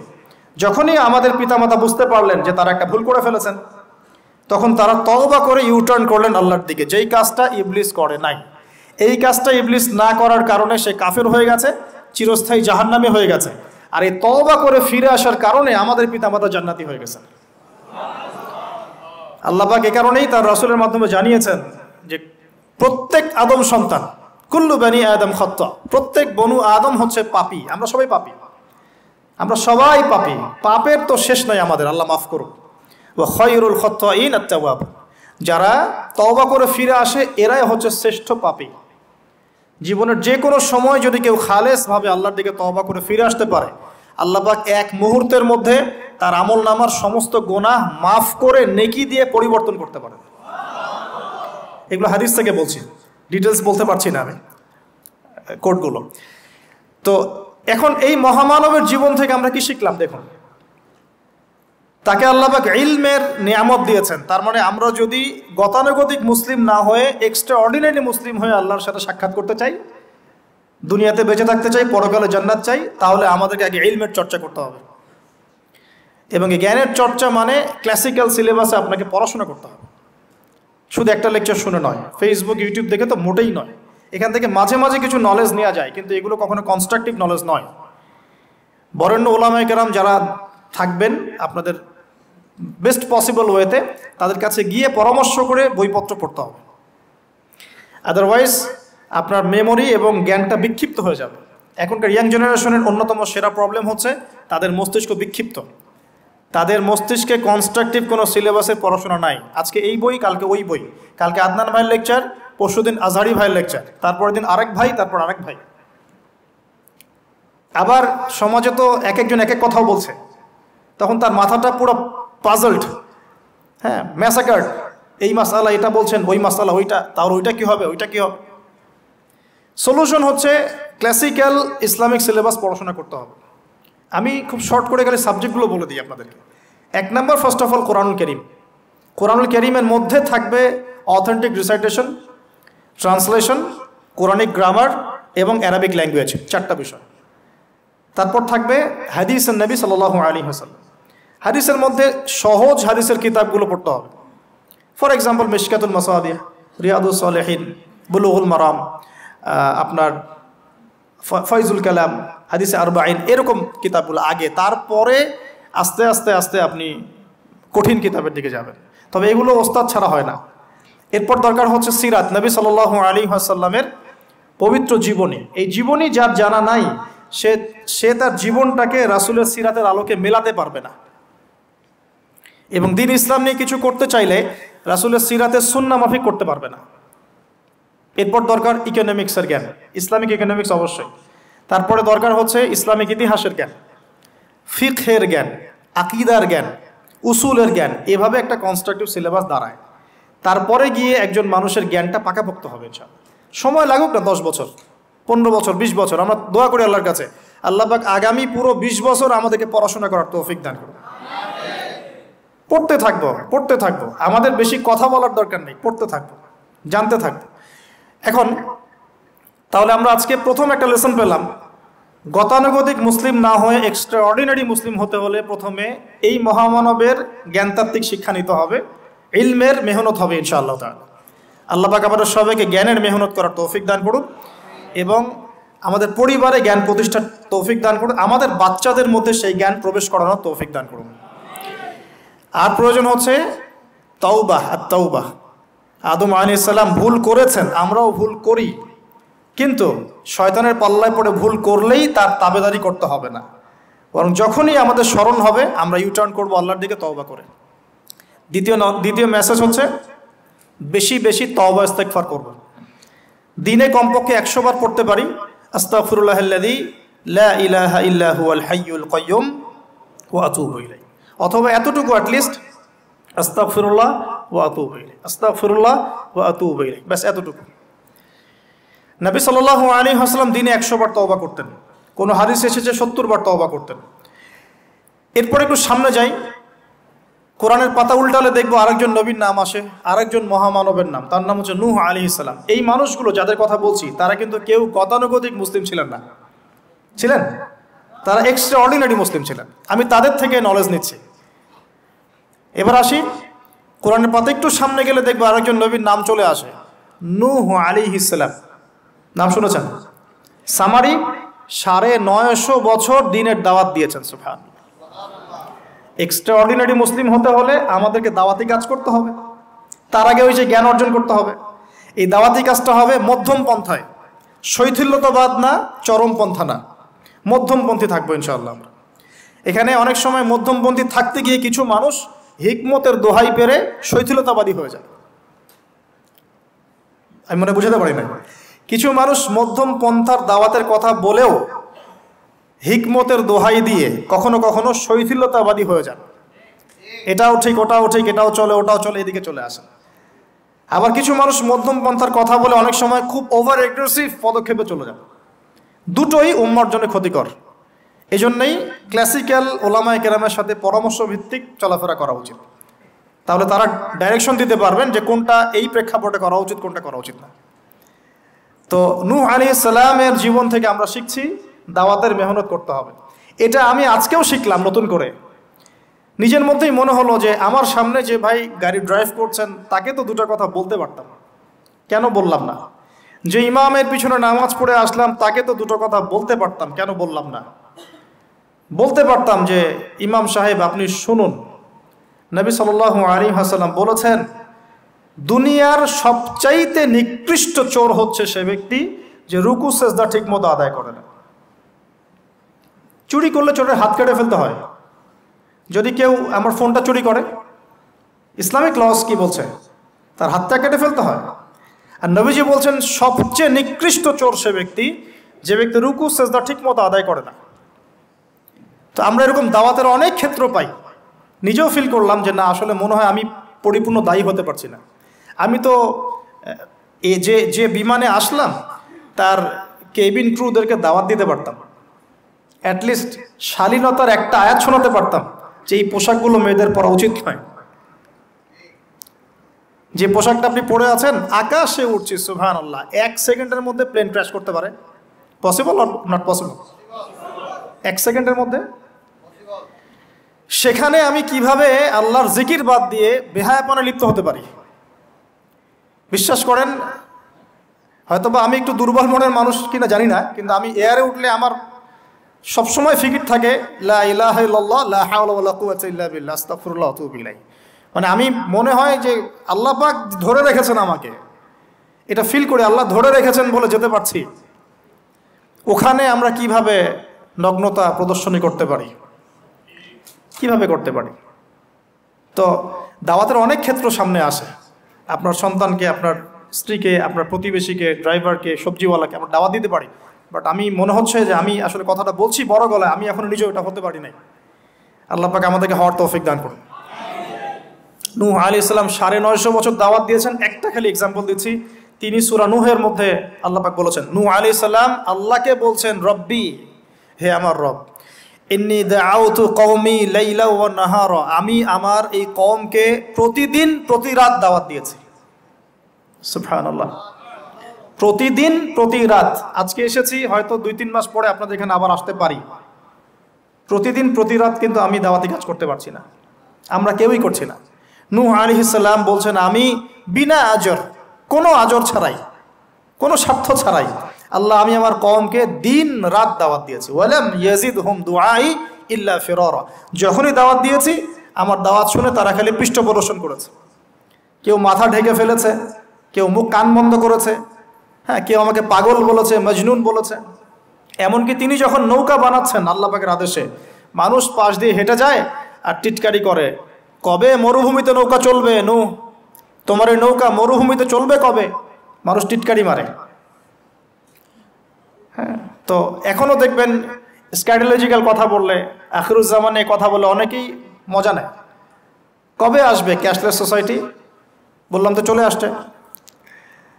কবে আসবে মালহামা? বলছি চলে আসবে। কবে আসবে বড় বড় ভূমিকম্প? আসছে, সবর করেন। তো নু আলাইসাল্লামের জীবন থেকে শিক্ষা আমরা দাওয়াত দিব। আমরা ফার্স্ট অফ অল জ্ঞান অর্জন করব। ক্লাসিক্যাল সিলেবাস পড়াশোনা করব, ওলামায় কেরামের সাথে সহবত রাখব এবং দাওয়াতে কাজ করব, ইনশাআল্লাহ। এবং এখানে আমরা মধ্যমপন্থী থাকব। নট চরমপন্থা নট শৈথিলতাবাদ নু আলাইসাল্লামের জীবন থেকে আরও দাওয়াত, দিন রাত দাওয়াতের মেহনত করা। দিন রাত দাওয়াতের মেহনত করা। আল্লাহ পাক আমাকে আপনাদের সবাইকে তৌফিক দান করুন। কতদিন? সাড়ে নয়শো বছর। কত বছর? সাড়ে নয়শো বছর। পুরো আব্বাসীয় খেলাফত ছিল পাঁচশো নয় বছর কি দশ বছর মেবি পুরো আব্বাসীয় খেলাফত পাঁচশো দশ বছরের মতো। উমাইয়াদের ছিল নাইনটি থ্রি ইয়ার্স আমাদের নবী সাল আলী হাসাল্লামের দাওয়াতের মিশন বয়স ছিল তেইশ বছর। সাড়ে নয়শো বছর দাওয়াত দেওয়ার পর তাফসিরের কিতাবে এসেছে ফর্টি আর এইটটি ফ্যামিলিস এই চল্লিশ বা আশিটা ফ্যামিলি ইসলাম কবুল করেছে। তার মানে এখানে শিক্ষা এক্সট্রাঅর্ডিনারি মুসলিম হতে হলে দাওয়াতের মেহনতে হতাশ হওয়া যাবে না, লেগে থাকতে হবে। লম্বা সময় ধরে দাওয়াত দিতে হবে। আল্লাহ পাক আমাকে, আপনাদের সবাইকে লম্বা সময় ধরে বিশ্বে দাওয়াতি কাজ করার তৌফিক দান করুন। আর সামনে যাই, নিজের ছেলে ইসলাম কবুল করে নাই, নূহ আলী সালামের। নিজের স্ত্রী ইসলাম কবুল করে নাই। তার মানে আমাদের ফ্যামিলিগুলো এমন হতে পারে যে ফ্যামিলি নিজের ছেলে কথা শুনছে না, নিজের স্ত্রী কথা শুনছে না। পরোয়া করতে হবে না। তাদের পরোয়া করতে হবে না, শুধু দাওয়াত দিতে হবে। সেই অবস্থা লুত আলী ইসলামেরও তারও স্ত্রী ইসলাম কবুল করছে না। আল্লাহ পাক তাদেরকে ধ্বংস করেছেন। নূহ আলী ইসলাম লুত আলী ইসলামকে উদ্ধার করেছেন। তো এখানে আমরা আমাদের দিনী বোনদেরকে রিকোয়েস্ট করব, আপনারা সবাই আপনাদের ফ্যামিলিতে খাদিজা রদিয়াল্লাহ আনহা আইসা রদিয়াল্লাহ আনহা রোল প্লে করেন। নূহ আলহিসাল্লাম আর লুত আলহিসাল্লামের স্ত্রী রোল প্লে করবেন না। আনফর্চুনেটলি এখনকার যে বিজি সিটিসগুলো মানে যেগুলো আমরা বলি বস্তুবাদী শহরগুলো ফ্যামিলিগুলো দিন দিন ক্রাশ করছে ক্রাশ করছে। সম্পর্কের টানা পড়া, বিচ্ছেদ ডিভোর্সড আকিদা, আদর্শের মিল নাই। স্বামী ইসলাম প্র্যাকটিস করলে স্ত্রীর সমস্যা, স্ত্রী প্র্যাকটিস করলে স্বামীর সমস্যা। এই প্রবলেমসগুলো আমাদেরকে সলভ করতে হবে। আল্লাহ পাক আমাদেরকে সবর করার তৌফিক দান করুন। পারিবারিক তালিমটা খুব বেশি ইম্পর্টেন্ট পরিবারের তালিম চালু করা উচিত। পরিবারে কোরআন এবং হাদিসের কিতাবগুলো থেকে দার্সের ব্যবস্থা করা উচিত। এবং সপরিবারেই ওলামাইকে রামদের সাথে পরামর্শ করে চলা উচিত। ইনশাআল্লাহ ভালো হবে। আল্লাহ তৌফিক দান করুন আমি নূহ আলী ইসলামের আরেকটা কথা বলে শেষ করি। শেষ, শেষে যখন নৌকা ডুবছে, তিনি তার ছেলেকে তখনও পিতৃস্নেহে ডাকছেন। নৌকায় আসো বাবা। ছেলে বলছে যে, আমি পাহাড়ে উঠে যাব। ইয়াসিমুনি মিনাল মা, এই পাহাড় আমাকে পানি থেকে বাঁচাবে। নু আলাইহিস সালাম বলছেন, আল্লাহ, তুমি আমার ছেলেকে বাঁচাও। ইন্নাহু মিন আহলি, সে আমার পরিবারের একজন। আমরা বলি না আমাদের সন্তানদের ক্ষেত্রে? আল্লাহ পাক বলছেন, লাইসা মিন আহলিক, সে তোমার পরিবারের কেউ না। এখানে একটু হার্ড লাইনে যেতে হবে আমাদেরকে অনেক সময়। আমরা আমাদের ফ্যামিলির মধ্যে এমন কিছু মানুষকে পাই যারা টোটালি ইসলামকে ডিসকারেজ করেন অস্বীকার করেন, নাস্তিকতায় লিপ্ত থাকেন, ইসলামের বেসিক ফান্ডামেন্টালগুলোকে ডিনাই করেন, এই ব্যাপারে কঠোর হওয়া উচিত। আল্লাহ আমাদেরকে বোঝার তৌফিক দান করুন। পাতা উল্টালে এরপর একজন নবীর নাম আসে না, আসে একজন নেতার নাম। মুসা আলি ইসলামকে আল্লাহ পাক একটা বিজয় অভিযান দিয়েছিলেন বাইতুল মাকদাস, অনেকে বলেন মাকদিস। আমাদের দি স্টেট অফ ইসরায়েল যেটা দখল করে আছে আর কি। এটা নিয়ে তো অনেক বলেছি আগে, আজকে আর বলছি না। পৃথিবীতে সবচেয়ে বড় জালেম সভ্যতা যদি কেউ থেকে থাকে, এটা সেটা। এদের চেয়ে বড় জালেম আমি আমার জীবনে কখনো দেখি নাই, ইতিহাসে পড়িও নাই। কোনোদিনও পড়ি নাই। নির্মমভাবে নির্মমভাবে দিনের পর দিন, মাসের পর মাস নয়, বছরের পর বছর নির্যাতনের স্টিম রোলার চালাচ্ছে, বিশ্ববাসী তাকিয়ে তাকিয়ে দেখছে। কারও কিচ্ছু বলার নাই যেন, কারও কিচ্ছু করার নাই। তো এই জায়গায় এই জায়গায় বিজয় অভিযানে পাঠানো হচ্ছে মুসা আলি ইসলামকে, কিন্তু তিনি তার কমের জন্য একজন নেতা নির্বাচন করছেন। তার কম বলছে, আমাদেরকে এক, একজন নেতা দিন, যার আন্ডারে থেকে আমরা আমালেকা সম্প্রদায়ের বিরুদ্ধে যুদ্ধ করব। এখন মুসা আল ইসলাম বলছেন আল্লাপাক যদি কোনো নেতা দেন, তোমরা যদি আবার পালানো শুরু করো। কারণ বনু ইসরায়েল সম্পর্কে তার খুব মারাত্মক কিছু অভিজ্ঞতা আছে। ফেরাউনের কবল থেকে মুক্তি পাওয়ার পরে বাছুর পূজা শুরু করেছে। তোমরা তো এই আদেশ আসলে পিছনে পালানো শুরু করবা। তারা বলল, না, আমরা পালাবো না। আমরা অবশ্যই সামনে অগ্রসর হব। কেন পালাবো? আমাদের যান মাল দিয়ে আমরা প্রয়োজনে ফাইট করব এবং আমরা আমাদের স্ত্রী সন্তানদেরকে রক্ষা করব। আমাদের বাড়িঘর তারা লুটপাট করছে, আমরা ওদেরকে প্রতিহত করব। অনেক কথা বলেছে সোরা বাকারাতেই পাবেন আপনি ইনশাল্লাহ তো আল্লাহ রবুল্লা আলমিন একজন ব্যক্তিকে সেখানে নেতৃত্ব দিলেন, তার নাম তালুত। কি নাম ভাইয়া? তালুত। এবং তালুতের আন্ডারে যুদ্ধ করছেন একজন ছোট ছোট বলছি, কারণ তখন তার বয়স বারো থেকে চোদ্দ বছর। তিনি পরবর্তীতে নবী হয়েছেন, তার নাম দাউদ আলী ইসালাম তো এই তালুদ সম্পর্কে কি নাসিহত, কেন এক্সট্রাঅর্ডিনারি মুসলিম হওয়ার সাথে কি সম্পর্ক? কোরআনের পাতা উল্টালে তালুদ সম্পর্কে দুটো কথা পাওয়া যায়। বনু ইসরায়েল বলছেন যে তালুদ নেতৃত্বের যোগ্য নয়, তার তো সম্পদ নাই, তার তো খ্যাতি নাই। আমরা তো এটাই বলি, নেতৃত্ব কখন আসে? খ্যাতি আছে আপনার, আপনি নেতা হওয়ার যোগ্য, সম্পদ আছে, আপনি নেতা হওয়ার যোগ্য। আমাদের থটসটা এরকম, এটা বানু ইসরায়েলের ইহুদিদের থটস ঠিক আছে? কিন্তু আল্লাহ পাক বলছেন, সুরা বাকারাতে আছে যে আল্লাহ রব্বুল আলমিন তাকে দিয়েছেন ফিল জিসমি ওয়ালে ইলম। তালুদকে আমি নেতৃত্ব দিয়েছি, কারণ তালুদকে আমি আল্লাহ দুটো নেয়ামত দিয়েছি। এক হচ্ছে শারীরিক, ফিজিক্যাল শক্তি এবং সুস্থতা এবং জ্ঞানের প্রজ্ঞার পারদর্শিতা। তাহলে নেতৃত্বের দুটো গুণ পেলাম। প্রজ্ঞা, জ্ঞান এবং শারীরিক সুস্থতা, শক্তি। এক্সট্রাঅর্ডিনারি মুসলিম হতে হলে আমাদের সবাইকে সুস্থ থাকতে হবে ফিজিক্যালি স্ট্রং থাকতে হবে। এটার জন্য এখনকার লাইফস্টাইল ত্যাগ করতে হবে। You have to change your food habits and lifestyle আমাদেরকে এক্সট্রা অর্ডিনারি মুসলিম হতে হলে অবশ্যই ফিজিক্যালি ফিট থাকতে হবে। তালুদকে আল্লাহবাক ফিটনেস দিয়েছেন। অ্যান্ড ফিটনেস কীভাবে আমরা রক্ষা করব আমরা বুঝব এটা। খাওয়ার দাওয়ার, ঘুমানো স্পেশালি ঘুমানো, ঘুম থেকে ওঠা, ফজরের পরের জগিং প্রয়োজনে জিম এবং ফুড হ্যাবিট চেঞ্জ করা রসুসল্লাহ আলী হাসলামের প্রফিটিক লাইফস্টাইল ফলো করলে ইনশাআল্লাহ আমরা সুস্থ থাকব। আল্লাহ পাক আমাদের সবাইকে, আমি সহ আপনাদের সবাইকে আল্লাহ পাক সুস্থতার নিয়ামত দান করুন। এবং আল্লাহ পাক আমাদের সবাইকে দীর্ঘ নেক হায়াত দারাজ করুন। এই হায়াতকে আল্লাহর দিনের জন্য ব্যয় করার তৌফিক দান করুন। আরেকটা হচ্ছে ইলম। আবারও জ্ঞানের কথা আসলো। তালুদকে আমি জ্ঞান দিয়েছি। ইউচাল হিকমা। আল্লাহ পাক বলছেন যে, ওয়ামা ইউচাল হিকমাতা ফাকাদ উতিয়া খৈরন কাসীর। যাকে প্রজ্ঞা দেয়া হয়েছে, তাকে প্রচুর প্রচুর প্রচুর কল্যাণ দেওয়া হয়েছে। সুবহানাল্লাহ। পাতা উল্টাই সামনে যাই। এক্সট্রাঅর্ডিনারি মুসলিম ছিলেন আরেকজন। তার নাম হচ্ছেন দাউদ আলহিসাল্লাম যিনি তালুতের বাহিনীতে যুদ্ধ করছেন। আমালিকা সম্প্রদায়ের মধ্যে অনেক বিশাল দেহি দেহি কিছু মানুষ ছিলেন। তার মধ্যে একজনের নাম জালুত। ওই জালুদ নাকি একাই একশো জনের সাথে লড়াই করতে পারত। তো তালুদ যখন নদী পার হচ্ছে তখন বলেছিল যে কেউ পানি খাবে না, শুধুমাত্র এক ঢোক পানি খেতে পারবে। যে ব্যক্তি পানি খাবে, ফলে ইসামিননি সে আমার কিন্তু অন্তর্ভুক্ত হতে পারবে না। তাপসিরে আসছে মাত্র তিনশো তেরো জন সৈন্য পানি না খেয়ে থাকতে পেরেছে। ওই যে বদরে তিনশো তেরো জন, ঠিক তালুতের যুদ্ধেও তিনশো তেরো জন। এটা অনেকে জানেন না, বদর যুদ্ধ হয়েছে তিনশো তেরো জন, সাহাবি। তালুতের সাথেও ছিল মাত্র তিনশো তেরো জন। আর এদিকে আমালেকা সম্প্রদায়ের বিশাল বাহিনী। এখন আমালেকা সম্প্রদায়ের মধ্যে এক এক যোদ্ধা আছে, তার নাম জালুত। যে একাই একশো জনের সাথে লড়াই করতে পারে। আল্লাহ রব্বুল আলমিন তার সাথে মোবারজার জন্য দাউদ আলী ইসলামকে আদেশ করছে দাউদ আলী ইসলামের বয়স তখন চোদ্দ বছর। বলা হচ্ছে তফসিলের কিতাবে, দাউদ আলী ইসলাম দূর থেকে একটা গুলতি বলি আমরা বাটুল গুলদি টাইপের এগুলো নিক্ষেপ করে এটা সরাসরি তার এই দুই চোখের মাঝখানে গিয়ে লাগিয়েতেই তার ইন্তেকাল হয়ে গেছে, মৃত্যু হয়ে গেছে। জালুদ শেষ। এটা দেখে আমালিকা সম্প্রদায় পিছনে পালানো শুরু করেছে।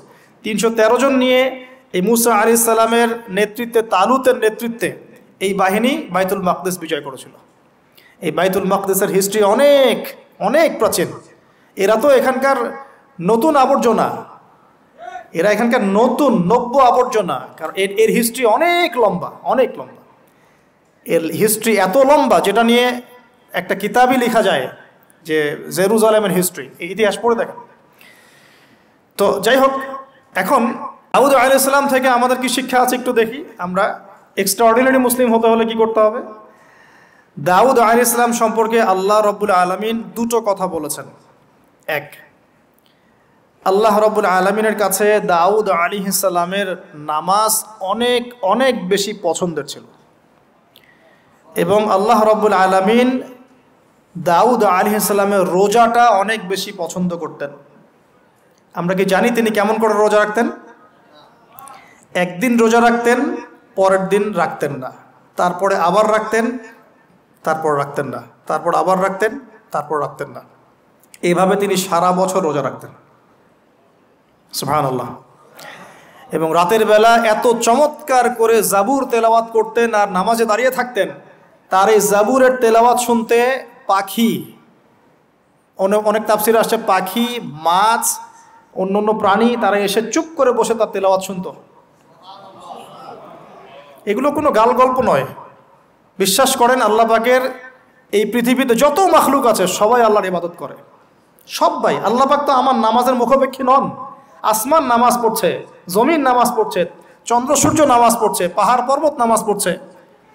একজন সুফি পীর সাহেবের সাথে সাক্ষাৎ রয়েছিল তিনি বলেছেন যে আমাদের বডির মধ্যে যে কীটপতঙ্গগুলো থাকে, সেগুলো তাসবি পাঠ করে। তো আল্লাহ পাক তো আমার নামাজের মুখোপেক্ষী নন। তো এখান থেকে এক্সট্রা অর্ডিনারি মুসলিম হতে হলে, আহসান হতে হলে আমাদেরকে নামাজ ঠিক করতে হবে। আল্লাহ পাক আমাদের সবাইকে দাউদ আলী ইসলামের মতো সুন্দর করে নামাজ পড়তে অফিক দান করুন।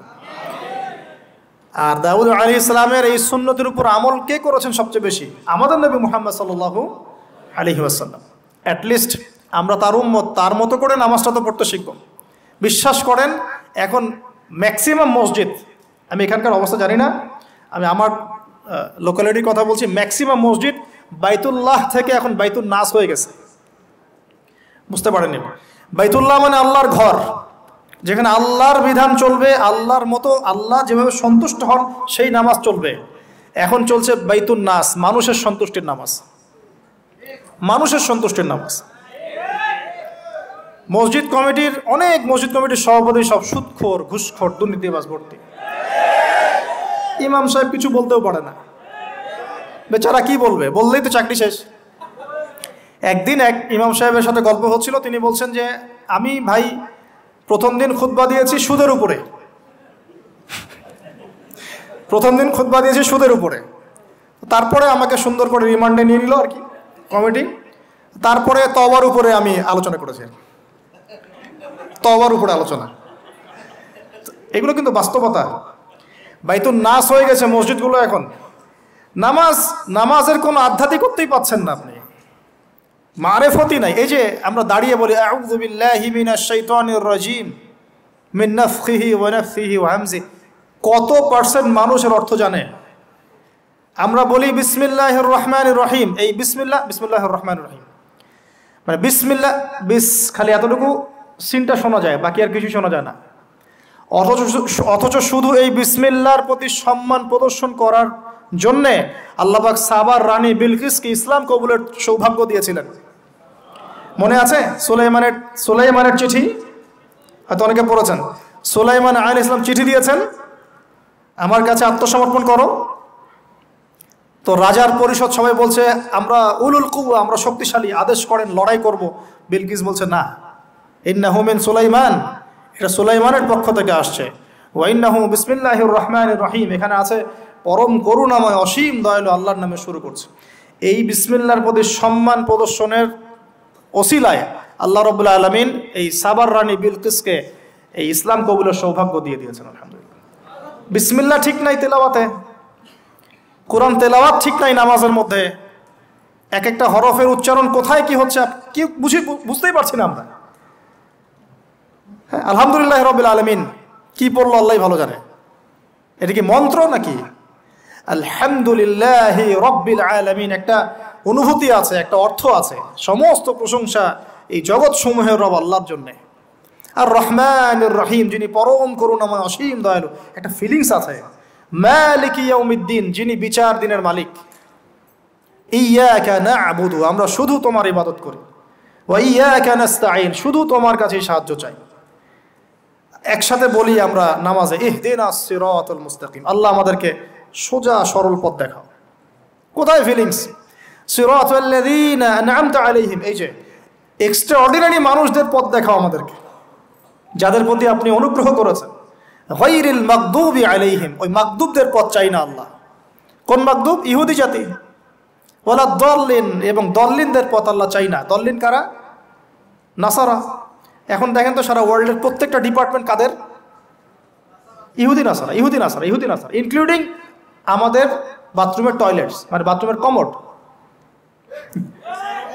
আপনার, আমাদের বাথরুম থেকে নিয়ে গ্লোবাল সিস্টেম, কোনটা ওদের বাইরে আছে, বলেন। হ্যাঁ ওদের ভালো জিনিস নেওয়া যাবে না, এমনটা নয়। কিন্তু এমন নীতি আদর্শ নেওয়া যাবে না, যেটা ইসলামের সাথে কনফ্লিক্ট হয়। কনফ্লিক্ট কি ইকোনমিক সেকশনে হচ্ছে না? রিবা কেন্দ্রিক ইকোনমিক সিস্টেম কি ইসলামিক? আল্লাহ সুবাহ আলার ল ল বহির্ভূত পলিটিক্যাল সিস্টেম কি ইসলামিক? এটা নিজেই নিজেকে প্রশ্ন করি না। অ্যান্সার আপনি খুঁজে, আপনার কবর আপনি যান। কেউ কারোর সাথে লড়াই করছি না। এখন দেখুন, এই যে সুরা ফাতিহা, অর্থ বুঝলাম না। একটা সুরা পড়ে গেলাম, কুলু আল্লাহ আহাদ। কি কুলু আল্লাহ আহাদ মানে কি? এটা উচ্চারণই বা কেমন করে করতে হয়? কুল বলুন হু আল্লাহ আহাদ, তিনি আল্লাহ এক। এই যে কুল হু আল্লাহ আহাদ, অনেকে বলতে পারে না। কুল হু আল্লাহ কুল হু আল্লাহ আহাদ, এটা কি সব একসাথে মিলে একটা শব্দ? এখানে প্রস্রাব করিবেন না। কমা, নাকি? করিলে জরিমানা হইবে। তো কমাটা চেঞ্জ করে দেন। এখানে প্রস্রাব করিবেন। না করিলে জরিমানা। তাহলে আমরা তো কোরআনকে এরকম বানিয়ে ফেলছি এখন। কুলু আল্লাহ আয়াত মানে কি? আমি এগুলো নিয়ে বললে অনেক সময় চলে যাবে। আপনার কি হাতে সময় আছে? আচ্ছা তো দেখেন আমি নামাজ নামাজ নাই ভাই। মসজিদে অ্যাপ্রোপ্রিয়েট নামাজ নাই। সব মসজিদের কথা বলছি না ইল্লা মাশা আল্লাহ অনেক মসজিদ এখন বাইতুর নাশ হয়ে গেছে। মানুষ মানুষের বাইত। আল্লাহর ঘর নাই। সুরা ঠিক নাই। এরপরে রুকু, এই যে রুকু করলাম। রুকুতে গিয়ে একটা বার সুফায়না রব্বিয়াল আদিম বলারই সময় পাওয়া যাচ্ছে না। অন্তত তিনবার, পাঁচবার, সাতবার তো বলবে, বা তিনবার তো অ্যাটলিস্ট বলবে। এই যে উঠে সামি আল্লাহ হলিমান হামিদা। হলিমান হামিদা কি? হলিমান হামিদা বলে কি কোনো শব্দ আছে? এটা নতুন শব্দ বানালাম আমি একটা। সামি আল্লাহ আল্লাহ তার কথা শোনেন। লিমান হামিদা, যে তার কথা, যে আল্লাহর প্রশংসা করে। সামি আল্লাহ আল্লাহ তার কথা শোনেন। লিমান হামিদাহু, যে তার প্রশংসা করে। একটা অর্থ আছে তো। সামি আল্লাহ, হুলিমান হামিদা। তো হুলিমান হামিদা মানে কি? প্রতিটা জায়গায় সমস্যা। প্রতিটা জায়গায় সমস্যা। নামাজ, এখানে আমি একটা কথা বলতে ভিতরে চলে আসি নামাজের আমাদের তাস্কিয়া উঠে যাচ্ছে। আধ্যাত্মিকত্ব পাচ্ছেন না আপনি। নামাজ নিজে পড়ে, নিজে ফিল হচ্ছেন আপনি নামাজ পড়েছেন। সেজদায় গেলেন, সেজদা মনে হচ্ছে ব্যায়াম। টাপাস টাপাস মাঝখানে বসারও সময় নাই। মাঝখানে বসে যে একটু দোয়া পড়তে হয় আল্লাহ গফিরলি ওয়ারহামনি। কত চমৎকার দোয়া আল্লাহ গফিরলি, আল্লাহ আমাকে মাফ করে দাও। ওয়ারহামনি, আল্লাহ আমাকে রহম করো। ও আফিনি আমাকে নিরাপত্তা দান করো। ওর জুকনি আমাকে রিজিক দান করো। এই তো দোয়া। নামাজের দোয়া বাদ দিয়ে নামাজের পরে লম্বা দোয়া। হ্যাঁ নামাজের মূল দোয়াই নাই। আর আমাদের বাংলাদেশে কিছু গ্রাম আছে ওখানে আবার দোয়া নিয়েছে, মারামারি আর ক্যাচাল। এক একজন বিড়ি ফ্যাক্টরির মালিক, বিড়ি ফ্যাক্টরি তামা ফ্যাক্টরি ওরা মসজিদে গন্ডগোল করে, দোয়া হাত তুলে করবে না করবে না? মানে বাদ দেন। আল্লাহ হেফাজত করুন আমাদেরকে, আল্লাহ আমাদেরকে পরিপূর্ণরূপে নামাজ পড়া তৌফিক দান করুন। নামাজের প্রত্যেকটা বিষয় বুঝে বুঝে পড়লে এত মজা লাগে, এত স্বাদ লাগে, আপনি নামাজে ডুবে যাবেন। আর নবী সাল্লাহ আলিয়াল্লাম কীভাবে সারা রাত নামাজ পড়তে পারেন? রাতের একটা লম্বা অংশ কেমন করে নামাজ পড়তে পারতেন? কারণ তিনি তো ফিল করতেন কি পড়তেছেন। তার তো ক্লান্তি লাগতো না। তার পা কখন ফুলে গেছে তার টেরি নাই টেরি পাচ্ছেন না তিনি। কেন সাহাবিদের পা থেকে তীর খোলা যেত? কারণ নামাজে দাঁড়িয়ে তারা ডুবে গেছেন আল্লাহর মতো। আল্লাহ আল্লাহ এটা তো এটা তো বললে অনেকে আকিদার প্রশ্ন তুলবে। আসলে আল্লাহ পাকের সাথে আমি বিলীন হয়ে যাচ্ছে এখানে। এই বিলীন মানে কি? শারীরিক বিলীন? আমার মন, আমার মনন আল্লাহর প্রতি নিবদ্ধ হয়ে যাচ্ছে। এই তো নামাজ। এই নামাজ নামাজ মেরাজুল মমিন বলে না? আল্লাহ আল্লাহর মুমিনদের জন্য মেরাজ। নামাজটাই তো মুমিনদের জন্যে মেরাজ। তো মেরাজ মানে কি? সাক্ষাৎ? দেখা সাক্ষাৎ? তা আমাদের নামাজে তো আল্লাহর আল্লাহর কোনো ফিলিংসই আসছে না। সেজদা করছে, সেজদায় নবীজি বলেছেন, বেশি বেশি দোয়া করো। কারণ সেজদায় যে দোয়াটাই করবা, কবুল হয়ে যাবে ইনশাআল্লাহ। তো সেজদায় তাসবি পড়ারই টাইম পাচ্ছি না, দোয়া করব কখন? একটা দোয়া করতে গিয়ে দেখলাম ইমাম সাহেব তাসাও ছুর করে দিয়েছে। আর আমি তাসাও ধরতে গিয়ে দেখলাম তাসাও শেষ করতে করতে সালাম শেষ, আমার দরুদ শরীফ বাকি আছে। তো ওই জন্য বিশ্বাস করেন, আমি নামাজটা আবার দৌড়ায় পড়ে আসছি, মাগরিবের নামাজ। ছোট ভাইকে নিয়ে বললাম, পাশে তারা নামাজ হয় নাই। কেন হয় নাই? রুকু চেষ্টা করতে পারি নাই। নামাজ হবে কীভাবে? এক ওয়াক্ত নামাজ চলে গেল। এই এক ওয়াক্ত নামাজ কি আমার জীবন আবার ফিরে আসবে কিনা? আর আপনারাই বলেন তো কে আমাদের মাঠে সবচেয়ে প্রথম কোন আমলের হিসাব হবে? আমার এই বড় বড় কথা, দিন কায়েম, জিহাদ, এই, সেই, হাবি, জাবি, অনেক বড় বড় কথা। নামাজ ঠিক নাই, কি হবে? ফায়দা আছে কোনো? এই জিনিসটা যদি আমাদের সমাজ থেকে আস্তে আস্তে বিদায় নিতে থাকে, তাহলে তো সমস্যা। আল্লাহ পাক আমাদের সবাইকে পরিপূর্ণ নামাজি হওয়ার তৌফিক দান করুন। একটা কথা বলতে গিয়ে অনেক ভিতরে চলে আসলাম। দাউদ আলী ইসলামের নামাজ আল্লাহর কাছে অনেক প্রিয় ছিল। আর তার সম রোজা আল্লাহর কাছে অনেক প্রিয় ছিল। আমাদের সবাইকে আল্লাহ পাক এই মহামানবের জীবন থেকে নামাজ শেখার তৌফিক দান করুন, রোজা রাখার তৌফিক দান করুন। এবং কোরআন, তিনি জাবুর তেলাওয়াত করতেন, এত মধুর সুরে তেলাওয়াত করতেন, পাখি এসে তার তেলাওয়াত শুনতো, মাছ এসে তেলাওয়াত শুনতো। আমাদের তেলাওয়াত তো মাশাল্লাহ করলে মানুষ বিরক্ত হচ্ছে। আমাদের তেলাওয়াত শুনে মানুষ বিরক্ত হচ্ছে। তো আল্লাহর ওয়াস্তে আমি একটু রিকোয়েস্ট করি সবাইকে, আল্লাহর ওয়াস্তে আপনারা সবাই বিশুদ্ধ করে তার তিলের সাথে কোরআন তেলাওয়াত করা শিখবেন ইনশাআল্লাহ। এক বছর সময় লাগে লাগুক, দুই বছর লাগে লাগুক, তিন বছর লাগে লাগুক, এর কোনো শেষ নাই। চমৎকার করে, সুন্দর করে মাধুর্যের সাথে কোরআন তেলাওয়াত করা শিখুন। আল্লাহবাক আমাদের সবাইকে ডেইলি অন্তত এক পারা করে তেলাওয়াত করার তৌফিক দান এতে ইনশাল্লাহ জীবনে বরকত হবে, হায়াতে বরকত হবে, রিজিকে বরকত হবে। আল্লাহর সাথে কানেকশন থাকবে, কোরআনের সাথে আপনার সম্পর্ক থাকবে। কোরআন কালকে আমাতে আপনার পক্ষে সাক্ষী দিবে ইনশাআল্লাহ। আল কোরআন হজ্জাতুল্লাহ আলাই, কোরআন আপনার পক্ষে সাক্ষী দিবে বা বিপক্ষে সাক্ষী দিবে। আল্লাহ রসুল বলছেন, লা দুইজন ব্যক্তি ছাড়া কারও প্রতি ঈর্ষা করা জায়েজ নাই। এক রজুলুন আতাহুল্লাহুল কোরআন, এমন একজন ব্যক্তি যাকে আল্লাহ কোরআন দিয়েছেন সুফান আল্লাহ ইয়াকুম বিহি ওয়া নাহার। যে কোরআন কেন্দ্রিক সে দিনের বেলা আমল করে, রাতে তাহাজ্জুদের নামাজ পড়ে। আরেকজন ব্যক্তি, রজুলুন আতাহুল্লাহ মায়ালান একজন ব্যক্তি যাকে আল্লাপাক সম্পদ দিয়েছেন। ইউনফিকবিহি আয়না আল্লাইলি ও আয়না নাহার, এই টাকা পয়সা, মাল সম্পদ ইসলামের জন্য সে দিন রাত খরচ করে। এই দুই ব্যক্তি ছাড়া অন্য কারোর প্রতি ঈর্ষা করা যায় না। আর এগুলো হাদিস তো অনেক শুনেছেন, প্রত্যেক হরফে দশ নাকি করে পাবেন। কোরআন আপনার পক্ষে সাক্ষী দিবে। সুরা বাকারা, যে ঘরে তেলাওয়াত করা হয় সুরা বাকারা, শয়তান সেই ঘর থেকে দূর দূর করে পালিয়ে যাবে। সুরা আলী ইমরানের শেষের দশ আয়াত মুখস্থ করবেন। সুরা বাকারার শেষের তিনটা আয়াত মুখস্থ করবেন। সুরা হাসরের শেষের তিনটা চারটা আয়াত মুখস্থ করবেন। সুরা কাহাফের প্রথম দশটা আয়াত মুখস্থ করবেন।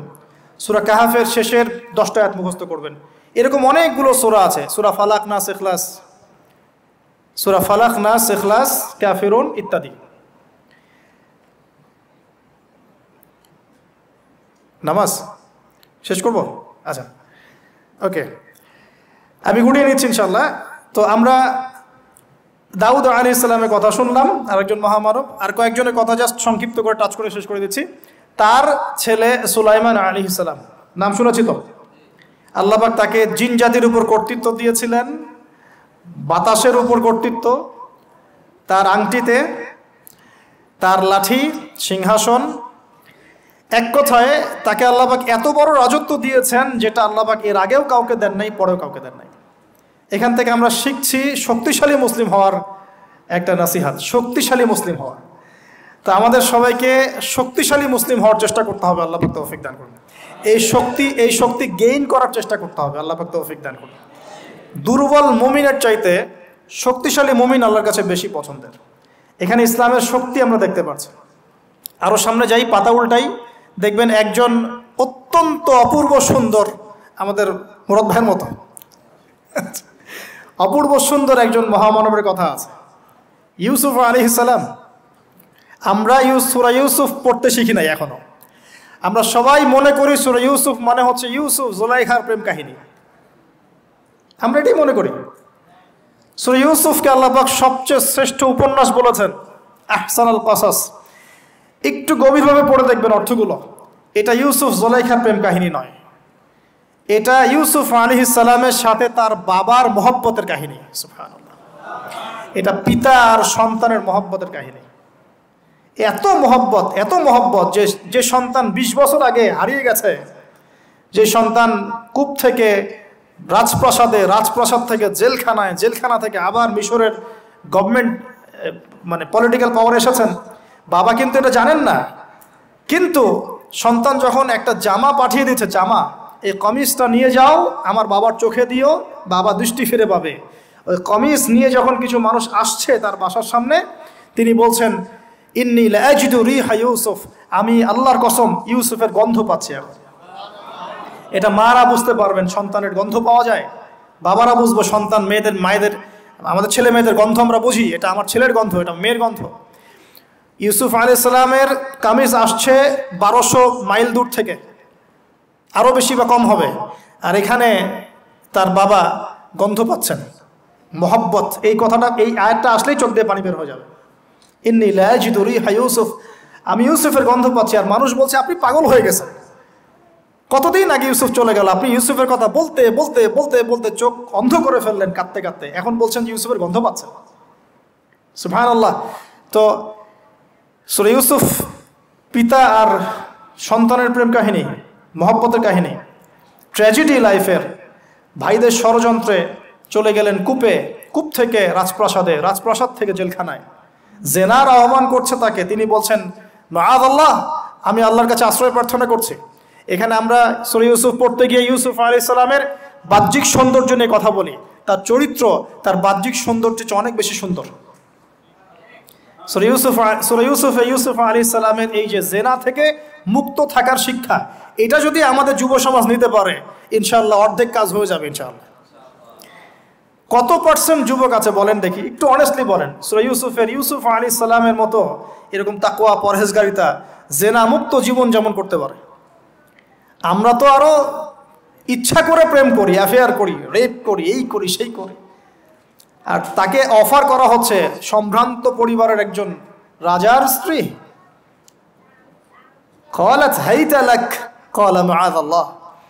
তাহলে এই মহামানব জীবন থেকে শিক্ষা আছে। আরেকটা বিষয় আছে রু ইয়াল হক, এখানে সত্য স্বপ্নের কথা আছে। তাই যারা বেশি পরহেজগার হবেন, আপনারা কিন্তু সত্য স্বপ্ন দেখবেন। এবং স্বপ্নের সত্যতা সত্যতা ডিনাই করবেন না। শেষ জামানায় মমিনের স্বপ্ন বেশি বেশি সত্য হবে। যদি সত্য স্বপ্ন দেখেন, ভালো স্বপ্ন দেখেন, প্রিয়জন, কোনো প্রিয় মানুষকে বলবেন। যদি দুঃস্বপ্ন দেখেন, খারাপ স্বপ্ন দেখেন, কাউকে বলতে যাবেন না। এখানে পড়লে আপনি দেখবেন কাফের স্বপ্ন সত্যি হয়েছে। আরেকটা স্ট্র্যাটেজি আছে সুরা ইউসুফে এর আগে একটা লেকচারে বলেছিলাম, ইউসুফ আলী ইসালাম এমন অর্থনৈতিক পরিকল্পনা গ্রহণ করেছিলেন যার ফলশ্রুতিতে মিশরের লক্ষ লক্ষ মানুষ দুর্ভিক্ষ থেকে বেঁচে গেছে। তাহলে এখনকার আমাদের পারিবারিক ক্ষেত্রেই হোক, সোশ্যাল বা ওয়ার্ল্ড অ্যাফেয়ার্সই হোক, ওই ইকোনমিক পলিসি যদি লঞ্চ করা যায় ইনশা আল্লাহ তালা দেখবেন জনগণ না খেয়ে মরবে না। আর এই কথাটা আমি সবাইকে বোঝাতে পারি, বাংলাদেশের মানুষকে বোঝাতে পারি না। কারণ ইউসুফ আলাইসাল্লাম এখানে সাত বছর মেয়াদি একটা পরিকল্পনা নিয়েছেন। অপচয় করো না, যতটুকুতে কাজ হয়ে যায়, এতটুকু ব্যবহার করো, বাকিটা সেভ করো, দুর্ভিক্ষ সামনে আসছে, তখন ইনশাল্লাহ বেঁচে যাবে তোমরা। তাহলে সুরে ইউসুফ থেকে আমরা শিখলাম কি? রইয়াল হক, সত্য স্বপ্ন, ক্যারেক্টার। আমরা শিখলাম এখানে চরিত্র পবিত্র রাখার ব্যাপার। শিখলাম পারিবারিক বাবা সন্তানের মহব্বত। এক্সট্রাঅর্ডিনারি মুসলিম হতে হলে এগুলো দরকার আছে। একটু সামনে যান। একজন ব্যক্তির নাম বলছে ইউনুস আলী ইসলাম। নাম শুনেছেন কিনা? আমরা সবাই জানি তিনি মাছের পেটে ছিলেন। কেন ছিলেন এটা অনেকে জানি না। কেন? তিনি আল্লাপাক তাকে ওই পরীক্ষায় ফেলেছেন। তিন দিন, তিন রাত মাছের পেটে। তখন তিনি কি দোয়া করছেন? লা ইলাহা বলছেন, সূরা সফাতের মধ্যে তিনি যদি এই দোয়াটা না পড়তেন কিয়ামত পর্যন্ত তিনি মাছের পেটে থাকতেন। নাউজুবিল্লাহ। তাহলে এখান থেকে আমরা শিখলাম, জীবনে অনেক চড়াই উতরে আসবে, সবর করতে হবে। দাওয়াতের মেহনতে সবর করতে হবে। মানুষ কবুল করল করল না, দেখার দরকার নাই। আমি আমার গতিতে দাওয়াত দিতে থাকব। আর বিপদ আপদ যদি চলে আসে, দোয়া ইউনুস পড়ব, বলব সুফানাকা ইন্নি কুনতুমিনা জালিমিন। আল্লাহ পাক যে কোনো বিপদ দূর করে দিবেন, ইনশাআল্লাহ। সাক্ষাৎ মৌত থেকে আল্লাহ পাক এই দোয়া পড়লে বাঁচাতে পারেন। এটা এটা কি মৃত্যুর মুখোমুখি ছিলেন না মাছের পেটের মধ্যে? ওখানে কিন্তু মাছ যখন বমি করে দিয়ে গেছে তীরে, তখন সেখানে লাউ গাছ উৎপন্ন করা হয়েছে, লাউ গাছ। তো এটাতে আপনারা বুঝে ফেলেন যে এর সাথে কি সম্পর্ক আছে। তো ইউনুস আলী ইসলামের জীবন থেকে শিক্ষা কি? এই দোয়া পড়ব লাহা সুফানাকে আরেকজন নবীর নাম আইয়ুব, মহামানব। অনেক দিন অসুস্থ, মনে আছে? দীর্ঘদিন অসুস্থ। এখানে একটা কথা বড় লোভ সামলাতে পারছি না। সলাত আমরা একসাথে পড়ব ইনশাল্লাহ আচ্ছা সেটা হচ্ছে, আইয়ুব আলী ইসালাম কখন এই দোয়া করেছেন? রব্বি আন্নি মাসানিয়াদুর রহিমিন। রোগ যখন আস্তে আস্তে আস্তে তার জিহবাতে এসেছে, জিহবা দিয়ে তিনি তার জিকির করতে কষ্ট হচ্ছে। তখন তিনি বলছেন, আল্লাহ, আমাকে অনেক দুঃখ দুর্দশা স্পর্শ করেছে। আমি জিকিরটা ঠিক মতো করতে পারছি না। আল্লাহ আমাকে শেফা দান করো। সুভান আল্লাহ এখন আল্লাহ রবুল আলমিন তাকে গোসল করালেন, সুস্থতা লাভ করলেন, তাকে আহাল পরিবার দিলেন, আরোগ্য দান করলেন। শিক্ষা জীবনে যত বড়ই রোগ ব্যাধি, বিপদ আপদ, বালা মসিবত আসুক না কেন, এই দোয়াটা পড়ব, আশা আশা হত হব না, হতাশ হব না। আল্লাহর প্রতি সুধারণা রাখব। দোয়া করব, রব্বি আন্নি মাসানিয়া দুর ওয়ান্তা রহমুর রহিমিন। ইনশাল্লাহ শেফা হয়ে যাবে। সেই লোভনীয় কথাটা এটা আয়ুব আলী ইসলামের শরীরে রোগ ছিল। কলবে কি রোগ ছিল? আয়ুব আলী ইসলামের কলবে কি রোগ ছিল? রোগটা দেহে ছিল। এখন এক মিনিটের জন্য যদি আমরা আমাদের পোশাকটাকে চেঞ্জ করি, দেহটাকে কলবের পোশাক দেই, কলবটাকে দেহের পোশাক দেই। বলেন তো, কত পার্সেন্ট মানুষ সুস্থ থাকবে? কথাটার ভিতরে ঢোকেন। মনে করেন আমাদের দুটো পোশাক, বাইরের দেহের পোশাক, একটা ভিতরের কলবের পোশাক। দেহে আমরা এখন সুস্থ সবাই, তাই তো? এখন এই দেহটাকে আমরা কলবের রূপ দিলাম। কলবটাকে আমরা দেহের রূপ দিলাম। এখন দেখেন তো কত পার্সেন্ট মানুষ সুস্থ আছে? আমাদের মধ্যে নাইনটি মানুষ অসুস্থ না এখন? বিকজ আমাদের সবারই কলব অসুস্থ। এই কলবের মধ্যে হিংসা আছে, বিদ্বেষ আছে, জেনা আছে, পরকীয়া আছে, লোভ আছে, লালসা আছে, কি নাই? তাহলে বলেন তো, আইয়ুব আলী ইসলামের এই দোয়া পড়ার সবচেয়ে বেশি হকদার কে? তিনি না আমরা? বুঝতে পারছেন না? ওই দোয়াটার উপর আমল করার সবচেয়ে বড় হকদার কার? কার বেশি প্রয়োজন? আমাদের না তার? ব্যাস, আমরা এখন আমাদের নামাজে দোয়া পড়ব। রব্বি আন্নি মাসানিয়া দুর্রু আইনতা রহমুর রহিমিন। আল্লাহ আমাদের কলবে রোগ হয়ে গেছে, আল্লাহ। তুমি আমাদের এই রোগ থেকে শেফা দান কর। কারণ কলব শেফা না হলে কোনোদিনও আমাদের আমল কিন্তু কবুল হচ্ছে না। কলবের মধ্যেই সমস্যা থাকলে আমল কবুল হচ্ছে না। আল্লাহ মাফ করুক আমাদেরকে। এখন কলব পরিষ্কারের কয়েকটা টিপস। এক, ডেইলি একবার করে হলেও চিন্তা করতে হবে যে আমরা এই পৃথিবীতে থাকতে আসি নাই।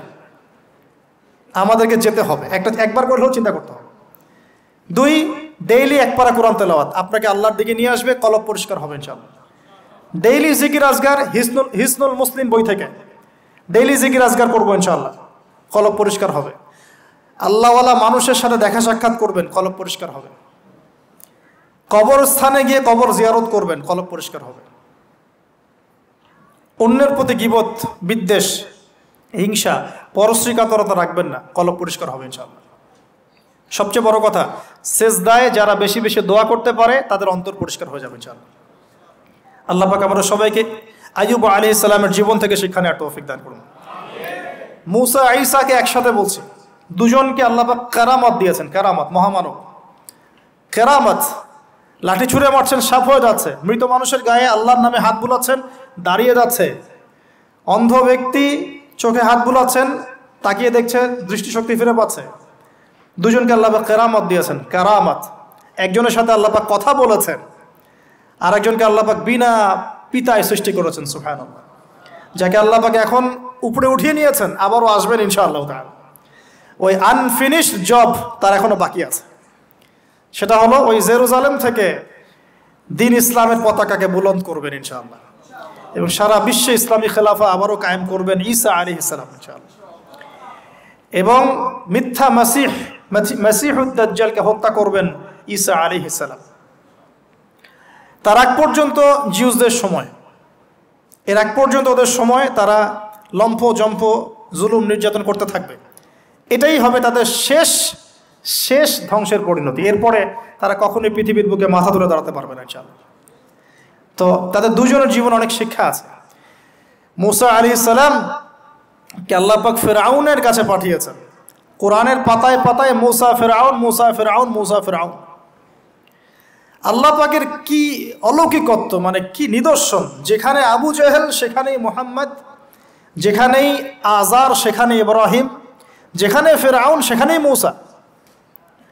তাহলে এ যুগেও যেখানেই যত বেশি করাপশন যত বেশি অন্যায় অবিচার, সেখানে তত বড় মুমিনের জন্ম হবে ইনশাল্লাহ তো আল্লাহ, আল্লাহর পক্ষ থেকে নবুয়ত পাওয়ার পরে তিনি দোয়া করছেন, আল্লাহ, আমার এত সাহস নাই, আমার এত সাহস নাই, শক্তি নাই, আল্লাহ, আমি দুর্বল। তার মধ্যে একজন মানুষ আমার এক থাপ্পরে মারা গেছে ওদের ওখানে। মনে আছে? থাপ্পরে না সরি ঘুষি ঘুষি। আলী এক ঘুষি দিয়েছেন। এই যে এক ঘুষি দিয়ে মানুষ মেরেছেন মুসা আলি সালাম মানে অ্যাক্সিডেন্টলি ইচ্ছা করে না, এটা থেকেই ওই যে চাইনিজ মার্শাল আর্ট শুরু হয়েছে। এক ঘুষিতে মানুষ মারা যায়। বিশ্বাস করছে না? এই যে টেকনিক এক ঘুষিতেও মানুষের মৃত্যু হতে পারে, এমন স্পট আছে মানুষের দেহে। এখান থেকে শিল্প গড়ে উঠেছে মার্শাল আর্টস গড়ে উঠেছে না? তো মুসা আলাইসালাম বলছেন, আল্লাহ আমার এই সমস্যা, আল্লাহ আল্লাহ বলছেন, এই দোয়া করো। রব্বিশ রহলি সদরি। আমরা কি দোয়া করব তাহলে? রব্বিশ রহলি সদরি। আল্লাহ আমার এই কলিজাটা বড় করে দাও। মানে আমার কলিজা বড় করো মানে কি? সাহস বাড়িয়ে দাও। দিনের দাওয়াত দেওয়ার জন্য কি লাগে? সাহস, আমার সাহস বাড়িয়ে দাও। একজন আলেম বলেছিলেন, তিনটা জিনিস লাগে, জ্ঞান, সাহস, ধৈর্য। দিনের দাওয়াত দিতে এবং দিন বিজয় করতে তিনটা জিনিস লাগবে, জ্ঞান, সাহস, ধৈর্য। এবং সেই আলেম আপনাদের খুব পরিচিত একজন। নাম বলছি না। এখন, হে আল্লাহ, আমার বক্ষকে প্রশস্ত করো। ওয়াসিল্লি আমরি, আমার কাজকে সহজ করে দাও। আমার কাজ সহজ নয়, কাজটা সহজ করে দাও। ওয়াহলুল উকদাতাম লিসানি, আমার জড়তা আছে জিহবায়, দূর করে দাও। ইয়াফকাহু কওলি, যাতে করে আমার কথা মানুষ বুঝতে পারে। ডক্টর জাকির নায়েক এই দোয়াটার উপর খুব বেশি আমল করেন। আপনারা কি দেখেছেন না লেকচারে? এই দোয়াটার ব্যাপক ফজিলত আছে। ইনশাআল্লাহ এই দোয়ার উপর যারা আমল করবে পাক তাকে প্রশস্ত সদর দিবেন, জ্ঞান দিবেন, সাহস দিবেন। ইনশাআল্লাহ দাওয়াতের ক্ষেত্রে সে মানে না, জড়, জড়তামুক্ত কথা বলতে পারবে ইনশাআল্লাহ। এই এই কাজগুলো আমাদের করা উচিত। সবচেয়ে বড় কথা, তিনি ফেরাউনকে দাওয়াত দিয়েছেন। তাহলে বুঝলাম দাওয়াতের কাজ আস্তে আস্তে আস্তে আস্তে ওই পর্যায় পর্যন্ত যেতে হবে কি না? তাহলে এখনকার বিশ্বে কি ফেরাউন নাই? এখনকার বিশ্বে ফেরাউন নাই? অল্প কিছু জায়গা বাদ দিয়ে ম্যাক্সিমামই তো ফেরাউন। অল্প কিছু জায়গা বাদ দিয়ে ম্যাক্সিমামই ফেরাউন, হামান, কারুন, নমরুদ। আর এই কথাটা বলার সৎসাহস থাকা উচিত। কোন কোন দৃষ্টিকোণ থেকে বলা হচ্ছে? বিকজ আল্লাহ পাকের আইন আপনি মানছেন না। আল্লাহ পাকের কোরআন পাতায় পাতায় এরকম কিন্তু অনেক, প্রায় পঁচিশ জন মহামানব পাবেন আপনি। আমি অল্প কয়েকজনের কথা বলতে পেরেছি। এই কথাগুলো কাকে বলা হচ্ছে, এই শিক্ষাগুলো কাকে দেয়া হচ্ছে, এই মেসেজগুলো আল্লাহ পাক কাকে দিচ্ছেন, কাদেরকে দিচ্ছেন? উত্তর নবী সাল্লাল্লাহু আলী হাসাল্লামকে তার সাহাবিদেরকে, তার পুরো উম্মাহকে। তাই তো? এখন আমাদের নবী সাল্লাল্লাহু আলী হাসাল্লাম কি এই বিষয়গুলোর উপর আমল করেছেন কি করেন নাই? দেখেন, তেইশ বছরের জীবন, প্রথম তিন বছর গোপনে গোপনে দাওয়াত দিয়েছেন। এই তিন বছরে আবু বকর, ওসমান, ওমর ওমর পড়ে এসেছেন। আবু বকর, ওসমান, আব্দুর রহমান বিন আউফ, সাইদ ইবনে হারসা, বিলাল ইবনে রবাহ, আবদুল্লাহ বিন মাসউদ, তালহা বিন উবাইদুল্লাহ এরকম সাহাবিরা তৈরি হয়েছেন। ওমর আদি আল্লাহ অষ্টম, সপ্তম, অষ্টম নবু নবমী বছরের দিকে এসেছেন আর কি। যাই হোক, প্রথম তিন বছর তিনি গোপনে দাওয়াত দিয়েছেন, পরবর্তী বছরগুলোতে তিনি প্রকাশ্যে দাওয়াত দেওয়া শুরু করেছেন। যখনই প্রকাশ্যে দাওয়াত দিয়েছেন, সমাজের মানুষ তাকে নির্মমভাবে অত্যাচার করেছে। তাকে সারা জীবনে পনেরোটা গালি খেতে হয়েছে, তাকে ষোলোবার হত্যা করার চেষ্টা করা হয়েছে। এক পর্যায়ে সাহাবিদেরকে নির্যাতন সহ্য করতে করতে আবিসিনিয়ায় হাবাসায় হিজরত করতে হয়েছে। আমার কাছে তো মালয়েশিয়া একটা আবিসিনিয়া মনে হয় এখন। সবাই একটা সেফ জোন হিসেবে এখানে হিজরত করছেন। ইসলামিক পরিবেশ হিসাবে। মাথায় আমরাও এগুলো নিয়ে চলি। যদি কখনো দেখি যে আর কিছুই করার নাই, তো ভাই আমার জন্য একটা জায়গা করে দিয়ে। ঠিক আছে? কিন্তু আমি বড় স্বপ্ন দেখি, আমরা ফাইট করতে চাই। আমরা ফাইট মানে কুস্তি লড়তে চাই না আমরা আদর, আমরা আদর্শ দিয়ে লড়াই করতে চাই। সমাজ পরিবর্তন করতে চাই। ব্যক্তি, পর্যায়ক্রমে ব্যক্তি, পরিবার, সমাজ, এক পর্যায়ে ইনশাআল্লাহ আমরা এমপি, মন্ত্রীদেরকে দাওয়াত দিব। তারা যদি ইসলাম কবুল করেন, কালিমার পতাকার ছায়া তোলে আসেন, তারাই থাকবেন সম্মানিত ইনশাআল্লাহ। নবী সাল্লাহ আলী আসাল্লাম কি ক্ষমতা চেয়ে নিয়েছেন? বরং আবু জেহেলকে দাওয়াত দিয়েছেন তুমি ইসলাম কবুল করো, তুমি ক্ষমতায় থাকবে, কোনো সমস্যা নাই। আবুল আহাব তুমি ইসলাম কবুল করো। এই ওতবা সাহেবা রাবিয়া, তোমরা ইসলাম কবুল করো। তারা করে নাই বলেই তো বদর হলো। তারপরে সমাজ পরিবর্তন, একটা হাদিস আমাকে প্রেরণা যোগায়। একটা হাদিস আমাকে প্রেরণা যোগায়, সেটা হলো, নবীজি বলছেন, তোমাদের সামনে এমন যুগ আসছে, জামানা সবরিন, কঠিন সবরের জামানা। ওই যে বলেছে অনেকদিন আগে, ইমান ধরে রাখাটা হাতের মধ্যে আগুন ধরে রাখার মতো হবে। ওই জামানায় যে ব্যক্তি আমার সুন্নতের উপরে, লিল মুতামাসিক আমার সুন- সুন্নতের উপরে একদম দৃঢ় থাকতে পারবে আজরুনা খমসিন আজরুনা খমসিনা শহীদ মিনকুম তোমাদের মধ্যে পঞ্চাশ জন শহীদ সাহাবির নেকি পাবে, ইনশাআল্লাহ। তো এই জন্য আমরা মাঠে ময়দানে কাজ করছি। করতে করতে করতে করতে যদি কখনো দেখা যায় যে না, আর পসিবল হচ্ছে না, কোনোভাবেই সম্ভব হচ্ছে না, সেক্ষেত্রে এরকম আবিসিনিয়ার মতো জায়গাগুলোতে চলে আসা ছাড়া কোনো অপশন নাই। তো আপনারা তো মাসাল্লাহ ভালো পরিবেশে আছেন। এই পরিবেশে সাহাবিরা হিজরত করেছিলেন। ঠিক আছে? বাচ্চা নাজাসি খ্রিস্টান শাসক ছিলেন, মুসলিম ছিলেন না। তারপরেও তিনি তার রাজ্যের মধ্যে ন্যায় বিচার প্রতিষ্ঠা করেছিলেন। আর এখনকার মুসলিমদের কাছে ন্যায় বিচার পাওয়া যাচ্ছে না। আল্লাহ পাক আমাদেরকে হেফাজত করুন। এরপরে টার্নিং পয়েন্ট মদিনা থেকে কিছু যুবক সাহাবি আসেন। আসাদ বিন জোরাড়া রাজি আল্লাহ নেতৃত্বে। তারপরে তারা ফিরে যান। পরের বছর বারো জনকে নিয়ে আসেন। তার পরের বছর আসেন পঁচাত্তর জনকে নিয়ে। এরপরে বায়াতে আকবায় কোবরা হয়। বায়াত একটা বিষয় আছে ইসলামে। এটা তো উঠেই যাচ্ছে আস্তে আস্তে। এটা এটা নিয়ে নিচ্ছে কিছু ভণ্ড পীর সাহেব, তাই না? কিন্তু অরিজিনালি কিন্তু ইসলামে একটা বায়াতের ব্যাপার আছে। তো নবী সাল্লাহ ইসলাম সেটা নিয়েছেন। নেয়ার পরে আল্লাহ পাক তাকে আদেশ করেছেন, মদিনায় হিজরত করো। তখন তিনি মদিনায় হিজরত করেন সেখানে গিয়ে মদিনা সনদ করা। মসজিদ নবমী নির্মাণ করা, তারপরে ইহুদিদের সাথে চুক্তি করা একটা রাষ্ট্র যেভাবে ফাংশন করে, সব সেখানে হলো। তারপরে সামরিক অভিযান শুরু হলো আস্তে আস্তে। এই করতে করতে কিছু সারিয়া হলো, সারিয়া সাইফিল বাহার, সারিয়া আবুয়া, সারিয়া বুয়াত, এরকম অনেকগুলো সারিয়া হওয়ার পরে এক পর্যায়ে বদর যুদ্ধ হয়েছে। সরাসরি প্রথম বদর হয়নি কিন্তু। বদর যুদ্ধ জয়লাভ, পরে উহুদের যুদ্ধ, পরের বছর এই যুদ্ধের সাময়িক বিপর্যয়, তারপরে খন্দক, খন্দকে বাইন বাইন মানে ওরা কিন্তু ফিরে চলে গেল। আমাদের কোনো ক্ষতি করতে পারল না। তারপরে নবী সাল্লাম বলেন, আজকের পর থেকে আমরাই অগ্রগামী হব, ওরা আমাদেরকে কিচ্ছু করতে পারবে না। এরপরে সামরিক অভিযান বাড়লো, দাওয়াতের মেহনত বাড়লো। আস্তে আস্তে আস্তে আস্তে মাশা আল্লাহ মাত্র আট বছর, মাত্র আট বছর। আট বছরের ব্যবধানে নবী সাল্লাহ আলী হাসাল্লাম বিনা, প্রায় বিনা যুদ্ধে মক্কা জয় করলেন। কোন মক্কা? যে মক্কা থেকে আমাদেরকে চলে আসতে হয়েছে এক সময় ইসলাম এভাবে বিজয় লাভ করেছে। আর আমাদের জন্য নবী সাল্লাহ আলী হাসাল্লামের এই মহামানবের জীবনেই হচ্ছে উসওয়াতুল হাসানা। আমাদের জন্য কিন্তু আগেকার মহামানবরা উসওয়াতুল হাসানা নন। যাদের কথা আমরা আলোচনা করলাম, তাদের থেকে আমরা শিক্ষা নিচ্ছি। কিন্তু আমাদের উসওয়াতুল হাসানা হচ্ছেন নবী সাল্লাহ আলী হাসাল্লাম তার এই সিরাত, তার এই জীবনী পড়লে আমরা আমাদের ব্যক্তি জীবন, দাওয়াতের জীবন, পারিবারিক জীবন, কখন কি করতে হবে, এই পুরো বিষয়টা আমরা খুব ভালো করে আয়ত্ত করতে পারব।